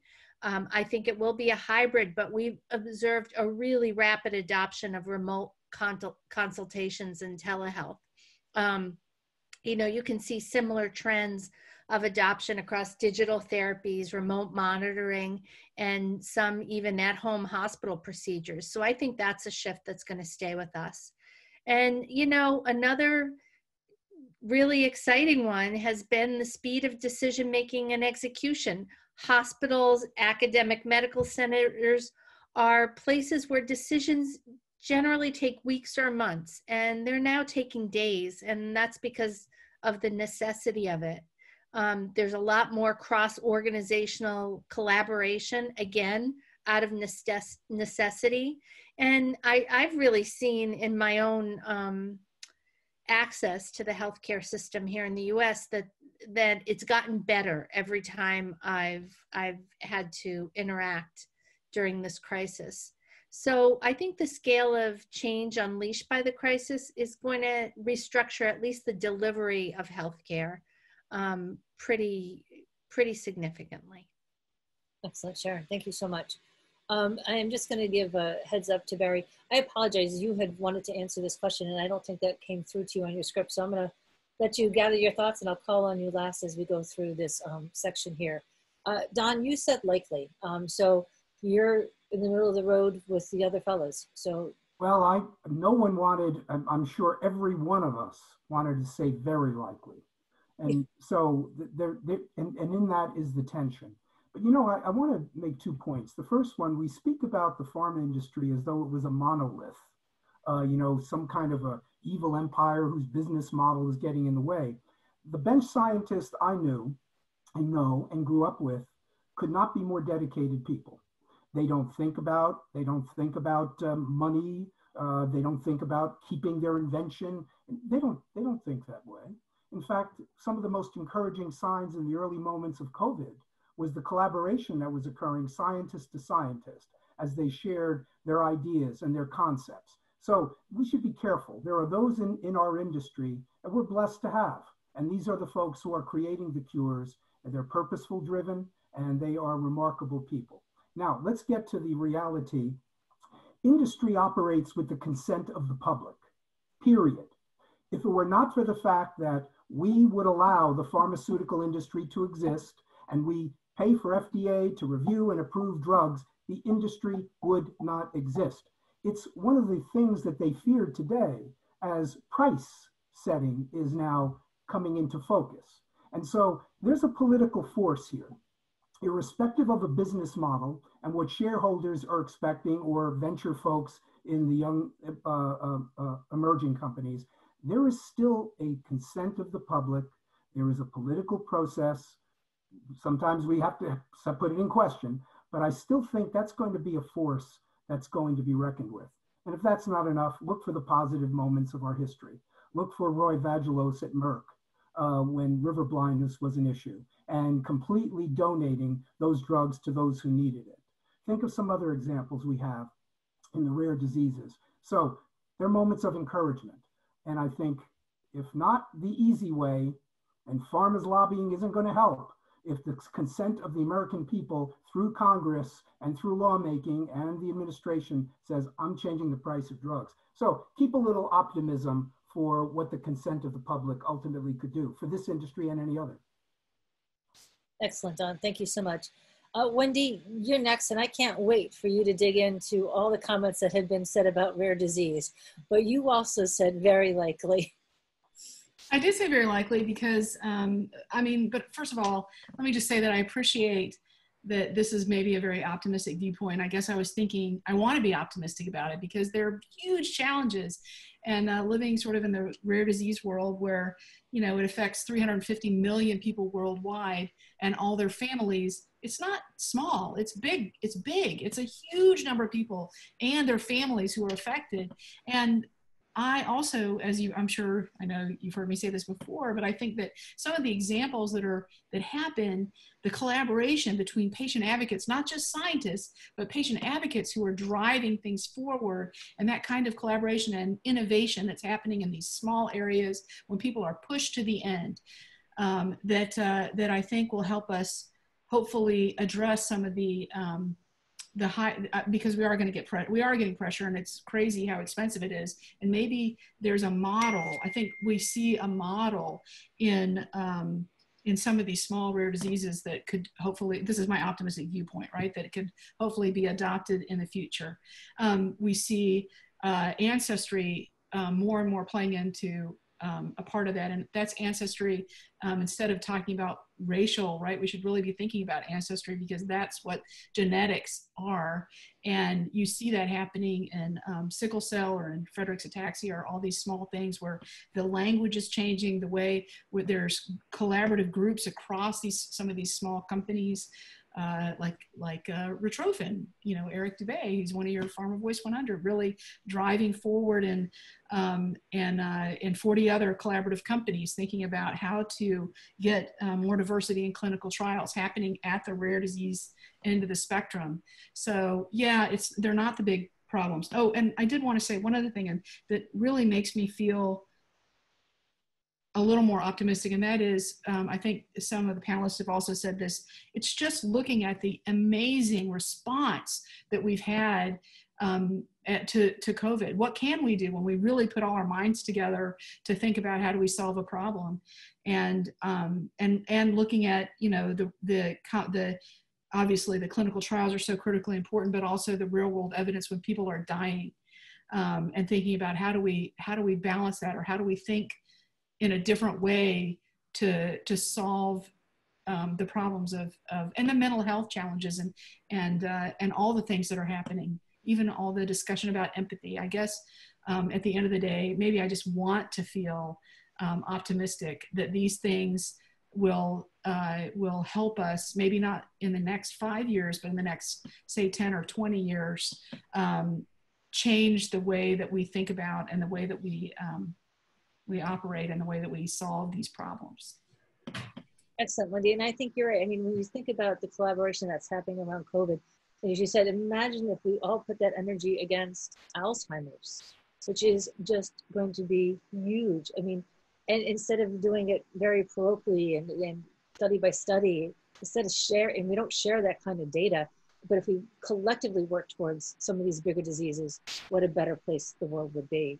Um, Barry, I've given you a few minutes now, Mr. Al Um, if you could uh, weigh in, and I don't mean to put you on the spot, but you also said uh, not likely, which sort of surprised me because you're an optimistic kind of guy. So, not that you're not, Mike. Sorry. yeah, well, so I want I want to change my my answer to very likely. Okay. After after hearing uh, after hearing you know Wendy and and uh, and Sharon. Now, you know, as as Mike said, uh, you know, having been in this industry since the mid '80s, I don't think our industry has behaved very well on a number of fronts. We've made life-saving therapies. We've fundamentally changed disease. We've done tremendous uh, tremendous good for the world. But we've also launched uh, big price drugs for big populations without telling anybody how many people we'd have to treat. That caused um, payers to go in the red um, we've taken price increases. Some companies have taken 10% three times in a year and grow through price increases versus growth through, through innovation. So there's, there's a lot of reasons to be skeptical about the industry and the industry behavior. And maybe since I filled out the questionnaire and listened to some of the folks here, we, we are seeing a seismic shift in how our industry is behaving. My, uh, you know, my shock when I came up to Kendall Square in 2000 was just how unbelievably collaborative the biotech industry was. You could pick up the phone, meet somebody for coffee, ask anybody in a company, they'd show up and give you an hour of their time without payment or I guess a cup of coffee payment, maybe lunch. Uh, but it was unbelievably collaborative. And, and now we're seeing that on a global scale. It's with COVID, but as you said, hopefully other diseases, the idea that we can share information, that companies would never collaborate before collaborating to, to solve global health is, is to me a seismic shift. And with, with the COVID situation, with systemic racism, if these are not burning platforms for our industry to fundamentally change and not go back to the way it was, because I don't think we can, but move forward in new and innovative ways in terms of um, you know, getting patients di- diagnosed properly, getting them worked up properly, getting them the right medicines or tools that they need. We have to have that seismic shift in our industry, uh, in our industry going forward. And I think we're seeing the burning platform to make it happen. When I see leaders like Michael Dolsten of, of Pfizer um, take a global stage on, on health, someone who was not Michael himself, but Pfizer maybe not viewed as innovators, and now Michael and his team becoming innovators in solving the COVID issue, working with companies they might, might not have worked with before. Those to me are signs that we can in fact change. And we can get back to what George Merck said, let's focus on the patients. What our industry did, unfortunately, was we started out focusing on the patients, then we focused on patients who could pay, and then we focused on revenue. So we went a little off kilter. We need to get back to focusing on patients and doing what's right for patients on a global scale. And if we do that together, as we're seeing with COVID, I think we can in fact change access permanently going forward. Excellent, Barry. Thank you so much. Um, you know, this it's it's almost like a juxtaposition when we go to our next uh, our next question here. But hearing all of you talk about, you know, even if it wasn't so optimistic, but there is a resounding sense of optimism from you all um, in terms of where we think the industry can go. Um, and you all are leaning into these challenges and, and, and making a real impact. So um, thank you to all of you for all the great work you're doing. Um, you know, question number four, Dan, I'm ready if you are. Let's go. Okay, the question is Will the industry need to rethink its marketing and commercialization strategies? Yes, no, or maybe. Pretty simple. Close the poll. And surprise, surprise, 95% said yes, 5% maybe. Nobody said no. so, super panels, let's see what you got. yeah. Looks about right. And that was about right. So, we're not get this is certainly is not as controversial a question as um, the one before. But i think where we're going to see the nuances is in how and to what degree. So Michele we're going to kick off with you. Great. So um, will they need to? I think everybody already is, right? I think you heard Al talk about how, you know, launching in the middle of a pandemic, how you have to really um, think differently about um, how you launch launch your product. So, you know, it's interesting. I think what we've seen, and as you can imagine, we have a vested interest in um, in trying to understand this as quickly as possible, right? So uh, I think we've we've learned a lot of things. Um, I loved how Craig talked about hybrids. I think we're realizing that uh, digitally enabled and technology enabled field representatives are the, you know, I think they're here to stay. I think some of Sharon's comments about telehealth and and physicians, you know, getting really comfortable um, using telehealth has actually created an opportunity for sales representatives, right? Uh, people say the, the sales representative is dead, right? You know, field teams are never going to be part of people's commercial strategy in the future. I just think that, you know, relationships, which a lot of us have talked about um, on this call so far, um, relationships matter and relationships and, and empathetic folks who really understand what physicians are, are going through right now matter to customers. And so I think representatives with strong relationships can utilize, you know, more virtual and um, digital tools to access customers and even intersect in the way that customers are now taking care of patients, right? Intersecting in, you know, if you're on a Zoom call, taking care of patients, taking 10 minutes to to understand, you know, getting some value around patient access or information you need about a new product can be just built into your, you know, workflow. So, I, so I do think that um, you know representatives or the person who's representing your your your brand to a physician whether it's an msl a sales representative a nurse whatever the the the, the focus is those people have to get really good at figuring out how they work themselves into the workflow now of healthcare professionals and the empathy piece that Al talked about is so important because you have to understand what's going on with that customer. If that customer is treating a lot of COVID patients, the last thing they want to do is talk to a sales representative, right? And so, really trying to understand um, where they are in their journey and in their practice, I think, is really important. So, I think that that's one key thing. I think intelligence is the is the next thing. I mean, we have so much data and analytics available to us now, and really truly understanding um, what that data is telling us about what what HCPs and physicians are interested in, what medical information they need, what channels do they want to interact with the pharmaceutical companies with? Do they just want to talk to medical? Do they want to really have uh, an increase in patient support right now, understanding what's going on?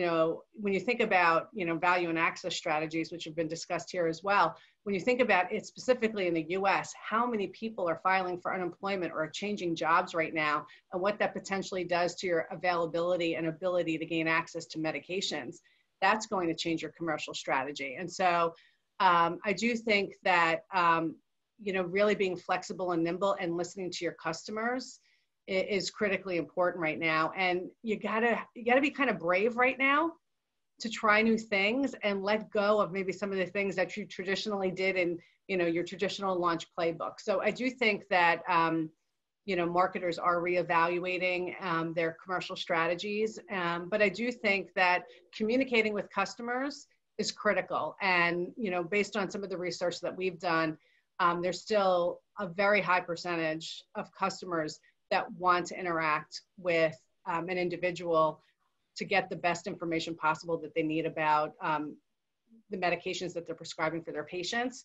It just doesn't look the way it traditionally did. So, excellent, Michele. Thank you. It's a lot to unpack there, and you know, as you said, it, it goes across from the HCPs to the customers to the sales reps to all those strategies. So, uh, Mike, I'm going to turn to you, and um, you also said yes. Yeah, uh, like everyone, I think, um, and um, maybe for a different reason though, because I think that uh, the pandemic, I think, has given us a chance to rethink. I mean, this, you know, we're all in a Zoom call in a way that we would have loved to be drinking cocktails in uh, in, in New York. Right? We would have loved to be doing that, and I think remote working has been one of those things that uh, we've had an opportunity to, to explore now because of what's happened. I think getting rid of sales reps has been another thing, right? The industry's talked about it for a long time is could you, they're expensive, they don't get much time with physicians, could you get rid of them? So I think if we move that conversation forward and say, well, actually, this could be an opportunity to do that pivot, to, to be more agile in the way that we think about it, I think our industry has to move from sales to demonstrating and delivering value. I think those two things are fundamental to how our industry uh, improves going forwards. Um, because the idea of selling pharmaceuticals to, to, to, physicians has always felt uncomfortable, right? I mean, like the kind of Sackler uh, based uh, orientation of, of, the sales rep, I think has, has had that problem uh, all of the way through. So I think if we can move from selling to uh, what everyone used to understand marketing as, which is understanding markets. I mean, that's what marketing used to do is they used to understand markets and then tell people about the products that they could be developing or the way to price them or the way to, to, to demonstrate value. That's the job of marketing. And I think in our industry, it's become sales support, you know, and I think that's why we've had some of this tension. I think if we can move towards understanding value to our customers, uh, understanding markets, understanding wants, understanding needs, I think that's a very good um, uh, way to, uh, uh, so to, to, to, rethink this. And it's absolutely not with a not with a perspective that sales reps are in the wrong place. Some of them are very good at understanding the value of their medicines to their customers, but we don't often have a two-way conversation. You know, it's often a one-way conversation. I think it'd be great if if, if they could start to listen as well as uh, as well as talk. Um, and I think that's an important thing for us to do. And actually, maybe you know, doing this remotely might well be a way to enable some of that to happen. But the idea of um, you know, uh, you know, pilot high, you know, go out and throw uh, you know, three thousand reps at it, put the ads everywhere. I think that probably is unlikely to to, to, to, to, to, to be sustainable going forwards. It never was, but no one wanted to be the first one to change. Excellent. Um, so Al, um, you said yes as well. Yeah, I won't leave Mike dangling out there by himself on this one. So no, I think we have changed. It's a question of how much, you know, what are we going to change? I mean, let's all fess up. And we call ourselves sales and marketing. We're big ass little M, right? We were, we were good, good at sales and not as good at marketing. I think that's out the window. I think, um, you know, I think if you look at our, a couple things we haven't talked about, uh, I think the channels are, are going to get disaggregated. I mean, we have three wholesalers we deal with, right? That's it. We think, not in my channel. There's a bunch of internet di- distribution networks in women's health that are delivering drugs to women's homes. We have a new customer, and we're not. We're we're trying to catch up. You see TV ads for Nurx and or New RX, however you want to pronounce it.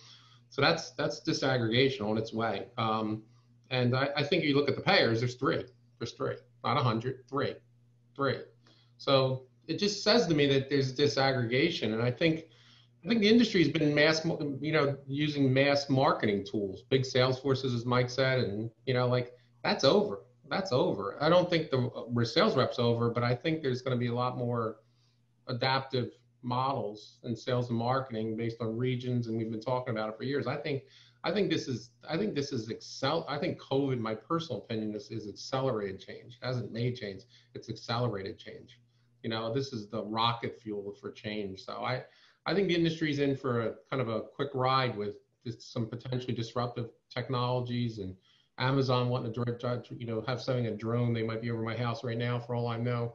You know, it's dropping everything from my shoes to my drugs, and uh, that's going to be here. So I think we're going to have to adapt to a new new distribution channels, to do new customer bases, and to consumerism. Um, you know, the, the, comments earlier about your food in the supermarket are going to be true with drugs too. I think. You know, I mean, um, so I think we're going to have to we're going to have to adapt, and we're going to have to get out of our mass marketing tactics, and for the first time, maybe consider ourselves real marketers and not real sales sales organizations. So I'd like to see marketing and sales, not sales and marketing. Um, I think we're going to have to be hired better marketers, you know, um, that employ tactics much similar to the consumer industry that has a lot more customization of their their their model. So you're not there out there alone on this one, Mike. We'll, I won't let you dangling. awesome, uh, Jeff.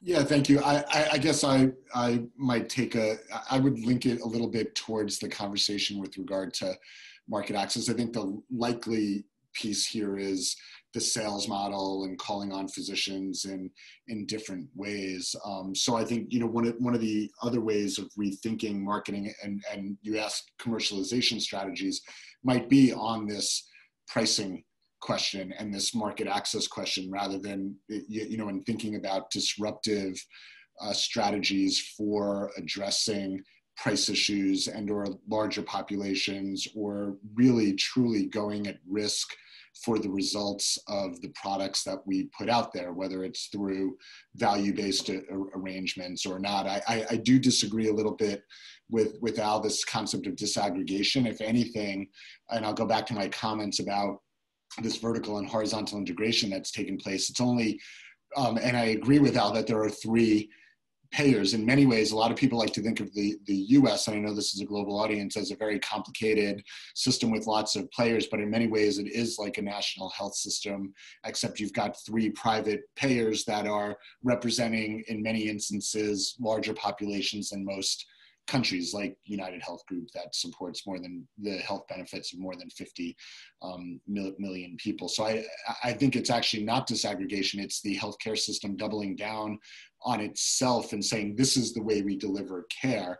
So the, the uh, change in the model will more likely have to come from the pharma industry and actually thinking about, again, in, in this instance, potentially different types of pricing models where again you're really thinking about the the total outcome across the system. I do think that is a dialogue that is taking place, particularly right now as we have more and more expensive therapies. And Wendy, I hate to say in rare and orphan disease, I really took your comment to heart that yes, there are 350 million, you know, uh, people, I, I, I, can't remember the exact number that are suffering. And, and so when you add it all up, it's huge. But if you're in one particular um, indication of, of Fragile X and you're a payer and you have eight patients that are going to take a $2 million drug, when I was at United, the things that we were grappling with were not those eight patients, it was cardiovascular disease and diabetes and COPD. But pharma companies weren't coming to us to talk about those disease states. They wanted reimbursement for Zolgensma for a small portion of the, the population. So I do see an opportunity where the industry needs to think commercialization strategies really from a pricing and, and reimbursement perspective. One, one last point on sort of the disruptive aspects of uh, Amazon and things like that. You know, I'm also a little bit of a naysayer there as well. I think this has been going on since 2017. We all point to Amazon as the sort of north star of potential disruption, but other than you know making an announcement about Haven purchasing uh, PillPack, it's been over three years now, and there have been extraordinarily limited uh, uh, changes there. So it, it may be one catalyst, but I think we're going to have to look for others potentially outside of the uh, Amazon umbrella. Interesting. Um, we can have a conversation. I, would love to discuss that more with you um, offline. Uh, Cameron, um, you also said yes. So where do you see our how commercialization strategy is changing?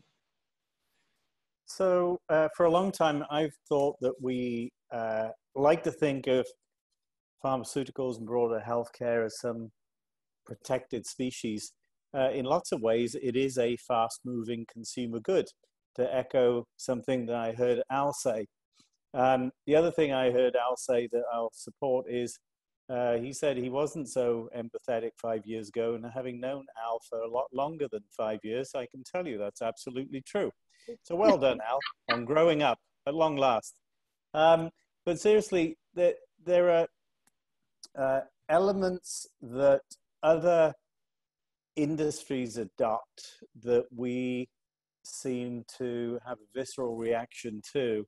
Um, for example, you know, we talked, I think uh, Jeff talked about uh, value uh, based approaches.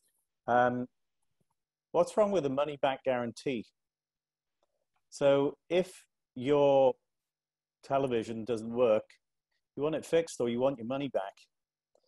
If your arguably more important um, uh, asset in the shape of your health doesn't work and you're taking something to improve it, why don't you want your money back? Um, I think we're going to be forced to confront that. Uh, and some innovation is going to come from left field. So it isn't necessarily what we think of as healthcare, pharma, biotech. It could be from people who deal with information. Uh, so Google, Microsoft, IBM, Amazon, uh, even Facebook and others are going to be serious players in some form of healthcare very soon, uh, if they're not already. And in fact, they are already. So uh, the notion of resisting change or uh, we should be thinking about changing our commercialization strategies. If you're not already doing it, you're going to get left behind. Uh, and what's more, uh, there's, there's a great saying from uh, Alain de Botton. If you're not embarrassed a year from now from the person you were, then you're not growing fast enough. Mm. And I would say that the same applies to our organizations and to our teams. Thank you, Cameron. That was great. Dave? Where are you, my friend? Hold on, I'm still capturing that last comment from Cameron. Um, no, I and I, I couldn't agree with you you more in your, in your last note there, Cameron. Um, I mean, the fact that the world has changed dramatically and it's not going back. I mean, it's it's it's tempting to slip into nostalgia, hoping that things will return to normal, and therefore thereby avoid making the the really tough decisions about transformation. Um, there are companies that are still betting on a rebound of the past and they're going to be left behind. Um, I think you're right. Leaders, the leaders have already moved on and are doubling down. Um, in many ways, doubling down on digital transformation. So emphatically, yes, the industry needs to change. Um, I guess the question that I always ask myself is, okay, so how and in what direction? Because um, every company, every product, every therapeutic area is different. I like to think of it sort of based on a simple question. You know, what's the next value multiplier? Um, is kind of a jargony way of asking the question. But you know, back in the '90s, Pfizer broke, cracked the code on the mirrored sales force, and they led the industry in growth for for many years with a string of blockbuster drugs. And then with rare and specialty, um, RWE back pricing, the advantages of the Orphan Drug Act, they've been vital value multipliers for biotech. I think the next value multiplier is going to explore how the physician and the patient experience has changed and how dramatically it's changed.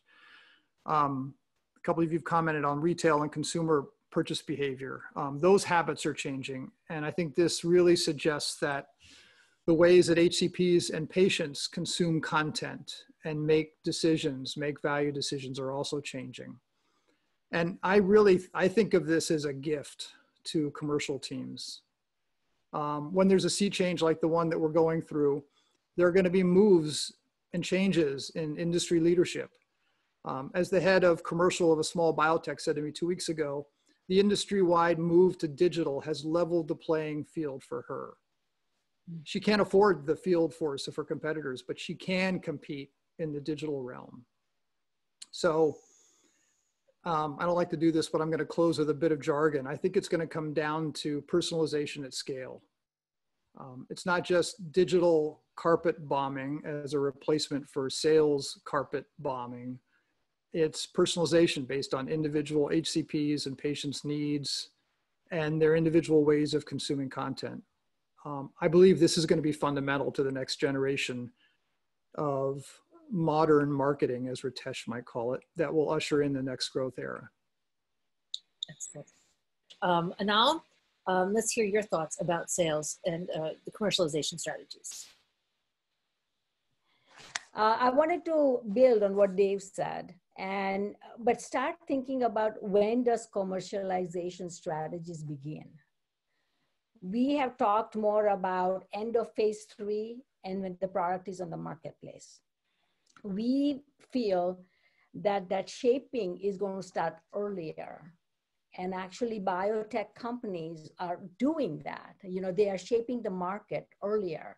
That you know the segments are smaller. So we have to understand and that's where also the md and patient phys- phys- you know hcp patient experience comes in. Try to understand it understand the market shape the market and and and then think about that behavioral change that is necessary in marketing and commercialization of what the product is going to do, what the benefits are, and how we can move on. So that's one thing I wanted to talk about quickly. And the second thing is that there is diversity now. And given the diversity in physicians, healthcare professionals, given the diversity in terms of the overall healthcare industry that is happening, and, and also, you know, including, uh, you know, several, several of us who are also suppliers in a way, uh, it is changing. I think that is also going to change, you know, bring a big change. However, that's going to take a long time. As a woman of color, I know it takes a long time to change we talk about inclusion, but it, it, will take a long time. I think the initial one of shaping the market and defining the market earlier is going to come earlier in terms of the strategies. Thank you. I appreciate that. Leerom, we've got you two minutes. All right. So, uh, look, I, I think it's evidence that everybody's rethinking, evolving, and accelerating plans. These days, we do recommend uh, that people do so in pencil. And I'll, I'll start with the optimism, which, which partially builds on the comments that Barry made about the collaboration and changes that we're seeing, but also with confidence derived from the recognition that at the same time that we learn about a lot of society's fragility, we also saw a health ecosystem that demonstrated amazing resilience over the last few months. We've witnessed a shift from surviving to thriving, and, and, and the examples are in abundance. Hospital systems have developed the capability to print parts to reduce reliance on third parties. Research is being done in the open. Timelines have been compressed. Federated clinical trials. Um, uh, even service models for at-home clinical trials have been proven in some therapeutic areas. So as we think about that, product managers probably understand today their supply chain better than they uh, actually likely understand all of their dependencies exponentially better than they did pre-pandemic. And and I think what's also happening is that we're recalibrating expectation about what's possible uh, in the virtual environment. Craig highlighted that we're likely to see many people with preferences for more hybrid models. Uh, we've also seen a lot of regulatory changes to e-visits, relaxed HIPAA rules, and so on. So these are all going to be hard to put back in the tube, to use uh, uh, Taren's word. If, if we focus on telehealth just for illustrative purposes, televisit is actually a great example of how COVID is acting as a forcing function. Uh, and, and, it's actually interesting because as, as, you change the aperture from a broader statement about telemedicine, but investigate specific use cases or uh, uh, zoom into specific disease states, we actually see a lot of variability in the research that we're doing. We're, we're, you know, if you're talking to a physician who was able to refill a script on the convenience of their couch in two minutes, she's probably feels very different uh, uh, than an orthopedic surgeon is used to diagnosing by how a person walked into the room or a, a cardio specialist who's learning to expect much more serialized telemetry. And, and, remote patient monitoring is not new, but they might find it to be much more insightful than the point in time, uh, more uh, clinical grade diagnostics. And, and, and of course, consumer on demand models, getting patients the care they need, sometimes virtually, and sometimes at the convenience of their home, and even basic things like pill delivery. So I, I think that there have been some places uh, where we've seen uh, irrefutable experience improvement. And, and I started by saying this is a forcing function. So for the same reason that nobody that used an iPhone for a year uh, or longer is longing for their fax machine, uh, we think that some of these themes are one-way streets.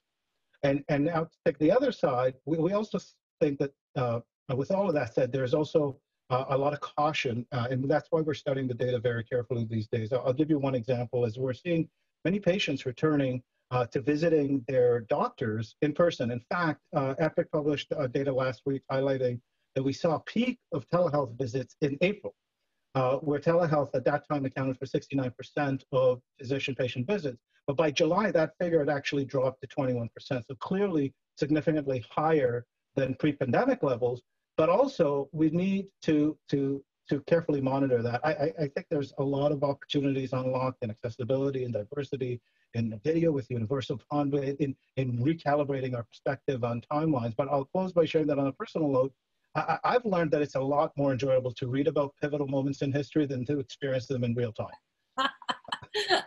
uh, and, and, and, and, so I'll just circle back to where we started. I, today, plans have to be written in, in pencil, but I, I, I, we're encouraging everyone that, that it, it, to treat 2020 as, as not a year of pause, but, but recognize that this is a year of opportunity. And, and I'll, I'll part with the, I really like Dawn and Al, uh, what they spoke about earlier and the gratitude, and in addition to thanking Taren, Dan, and the PharmaVoice team.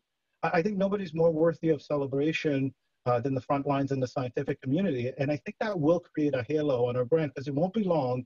And when I say brand, I mean brand of pharma. Uh, uh, it won't be long uh, before we have those Victory Day parades down the streets of New York, Boston, Toronto, Philly, Chicago, everywhere. And when we do, I think it's going to be doctors and nurses that are celebrated for how they conquered the scariest common enemy that civilization has, uh, has ever confronted. And, and I think we have a lot to be optimistic about for that reason. Excellent, excellent. Great conversation. Um, I think that we're going to see opportunities expand and contract as we go forward. Uh, to your point, Leerom, um, we are in the home stretch. Question number five. Dan, hit it. Here's the question Different types of clinical trial designs are being accelerated in this COVID environment as both companies and regulators realize things need to be done differently. Is this mindset change sustainable for the future? That's a big question. Close it down and share the results. 68% yes, 32% maybe, 0% no. Okay. So, super panel, for the last time tonight, let's see your answers. Yes, yes, yes, yes, yes, yes. No. Al, don't. What are you doing? All right. So let's. Um, so, Craig, let's start with you. You say yes. Tell me Taren, why. Taren, my writer says I get at least five minutes for an answer. Um, Did the so- great make it to you too? Okay.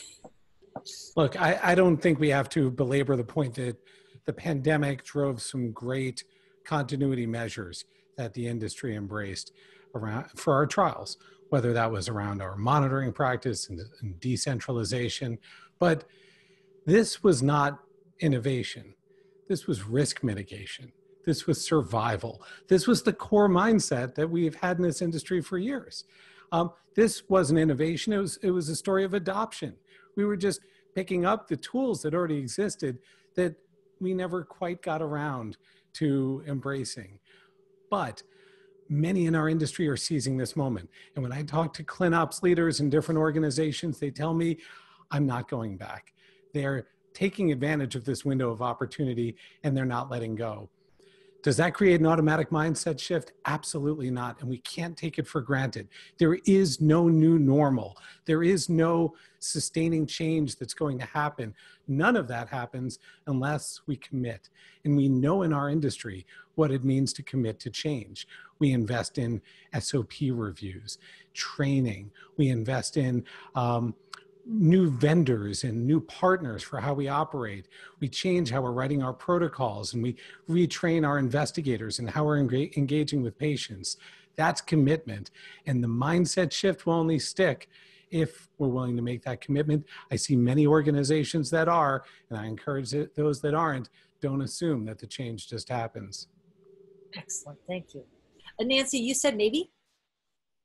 I think we're well on our way to lots of innovations. This is a path started most recently with 21st century cures, and we're, we're in the middle of a transformation. I think this has got legs and it's keeping, keeping going. Um, Barry, you said maybe as well. Yeah, I mean, given the time, not not a lot to add. I agree with the comments made. And again, it, when when something like this happens on this kind of scale, it forces us to think differently. And, and the one thing I hope that changes is regulatory sciences around clinical trials.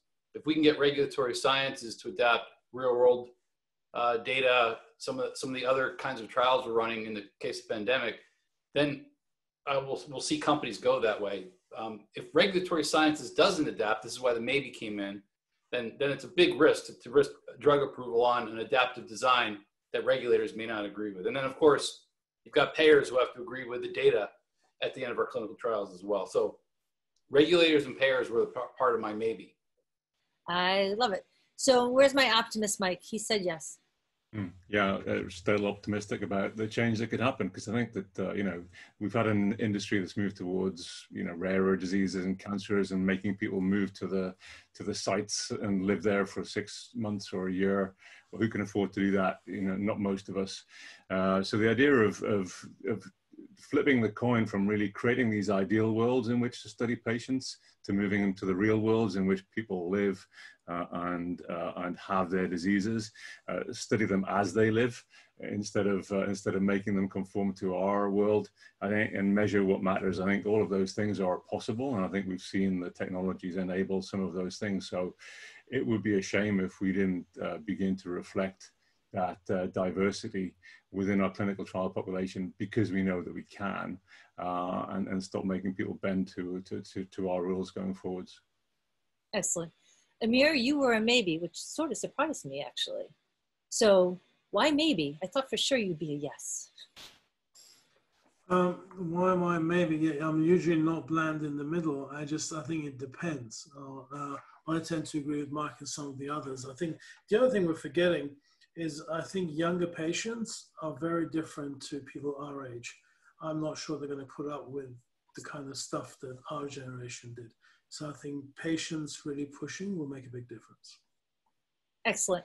And we're going to round it out. Julie, I'm going to give you the last word on our first Red Jacket Super Panel. And you I, said yes. I think it has to be sustainable. Uh, we've got the technologies to automate, to gain efficiencies. We're proving in COVID that we can work differently to solve a complex, challenging issue. It has to compete. It has to continue. I agree. Um, you know, I can't thank you all enough. Um, to bring you all together is really quite special for us, and we feel very honored. And I have to tell you, I've been watching with one eye that I have left uh, the comments that are happening in the chat bar.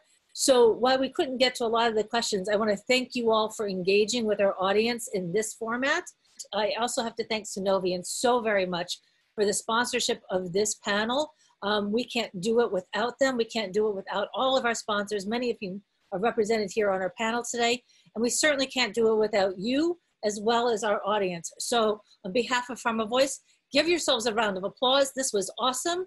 Thank you, thank you, thank you. Thanks, Taren and your team. Thank you.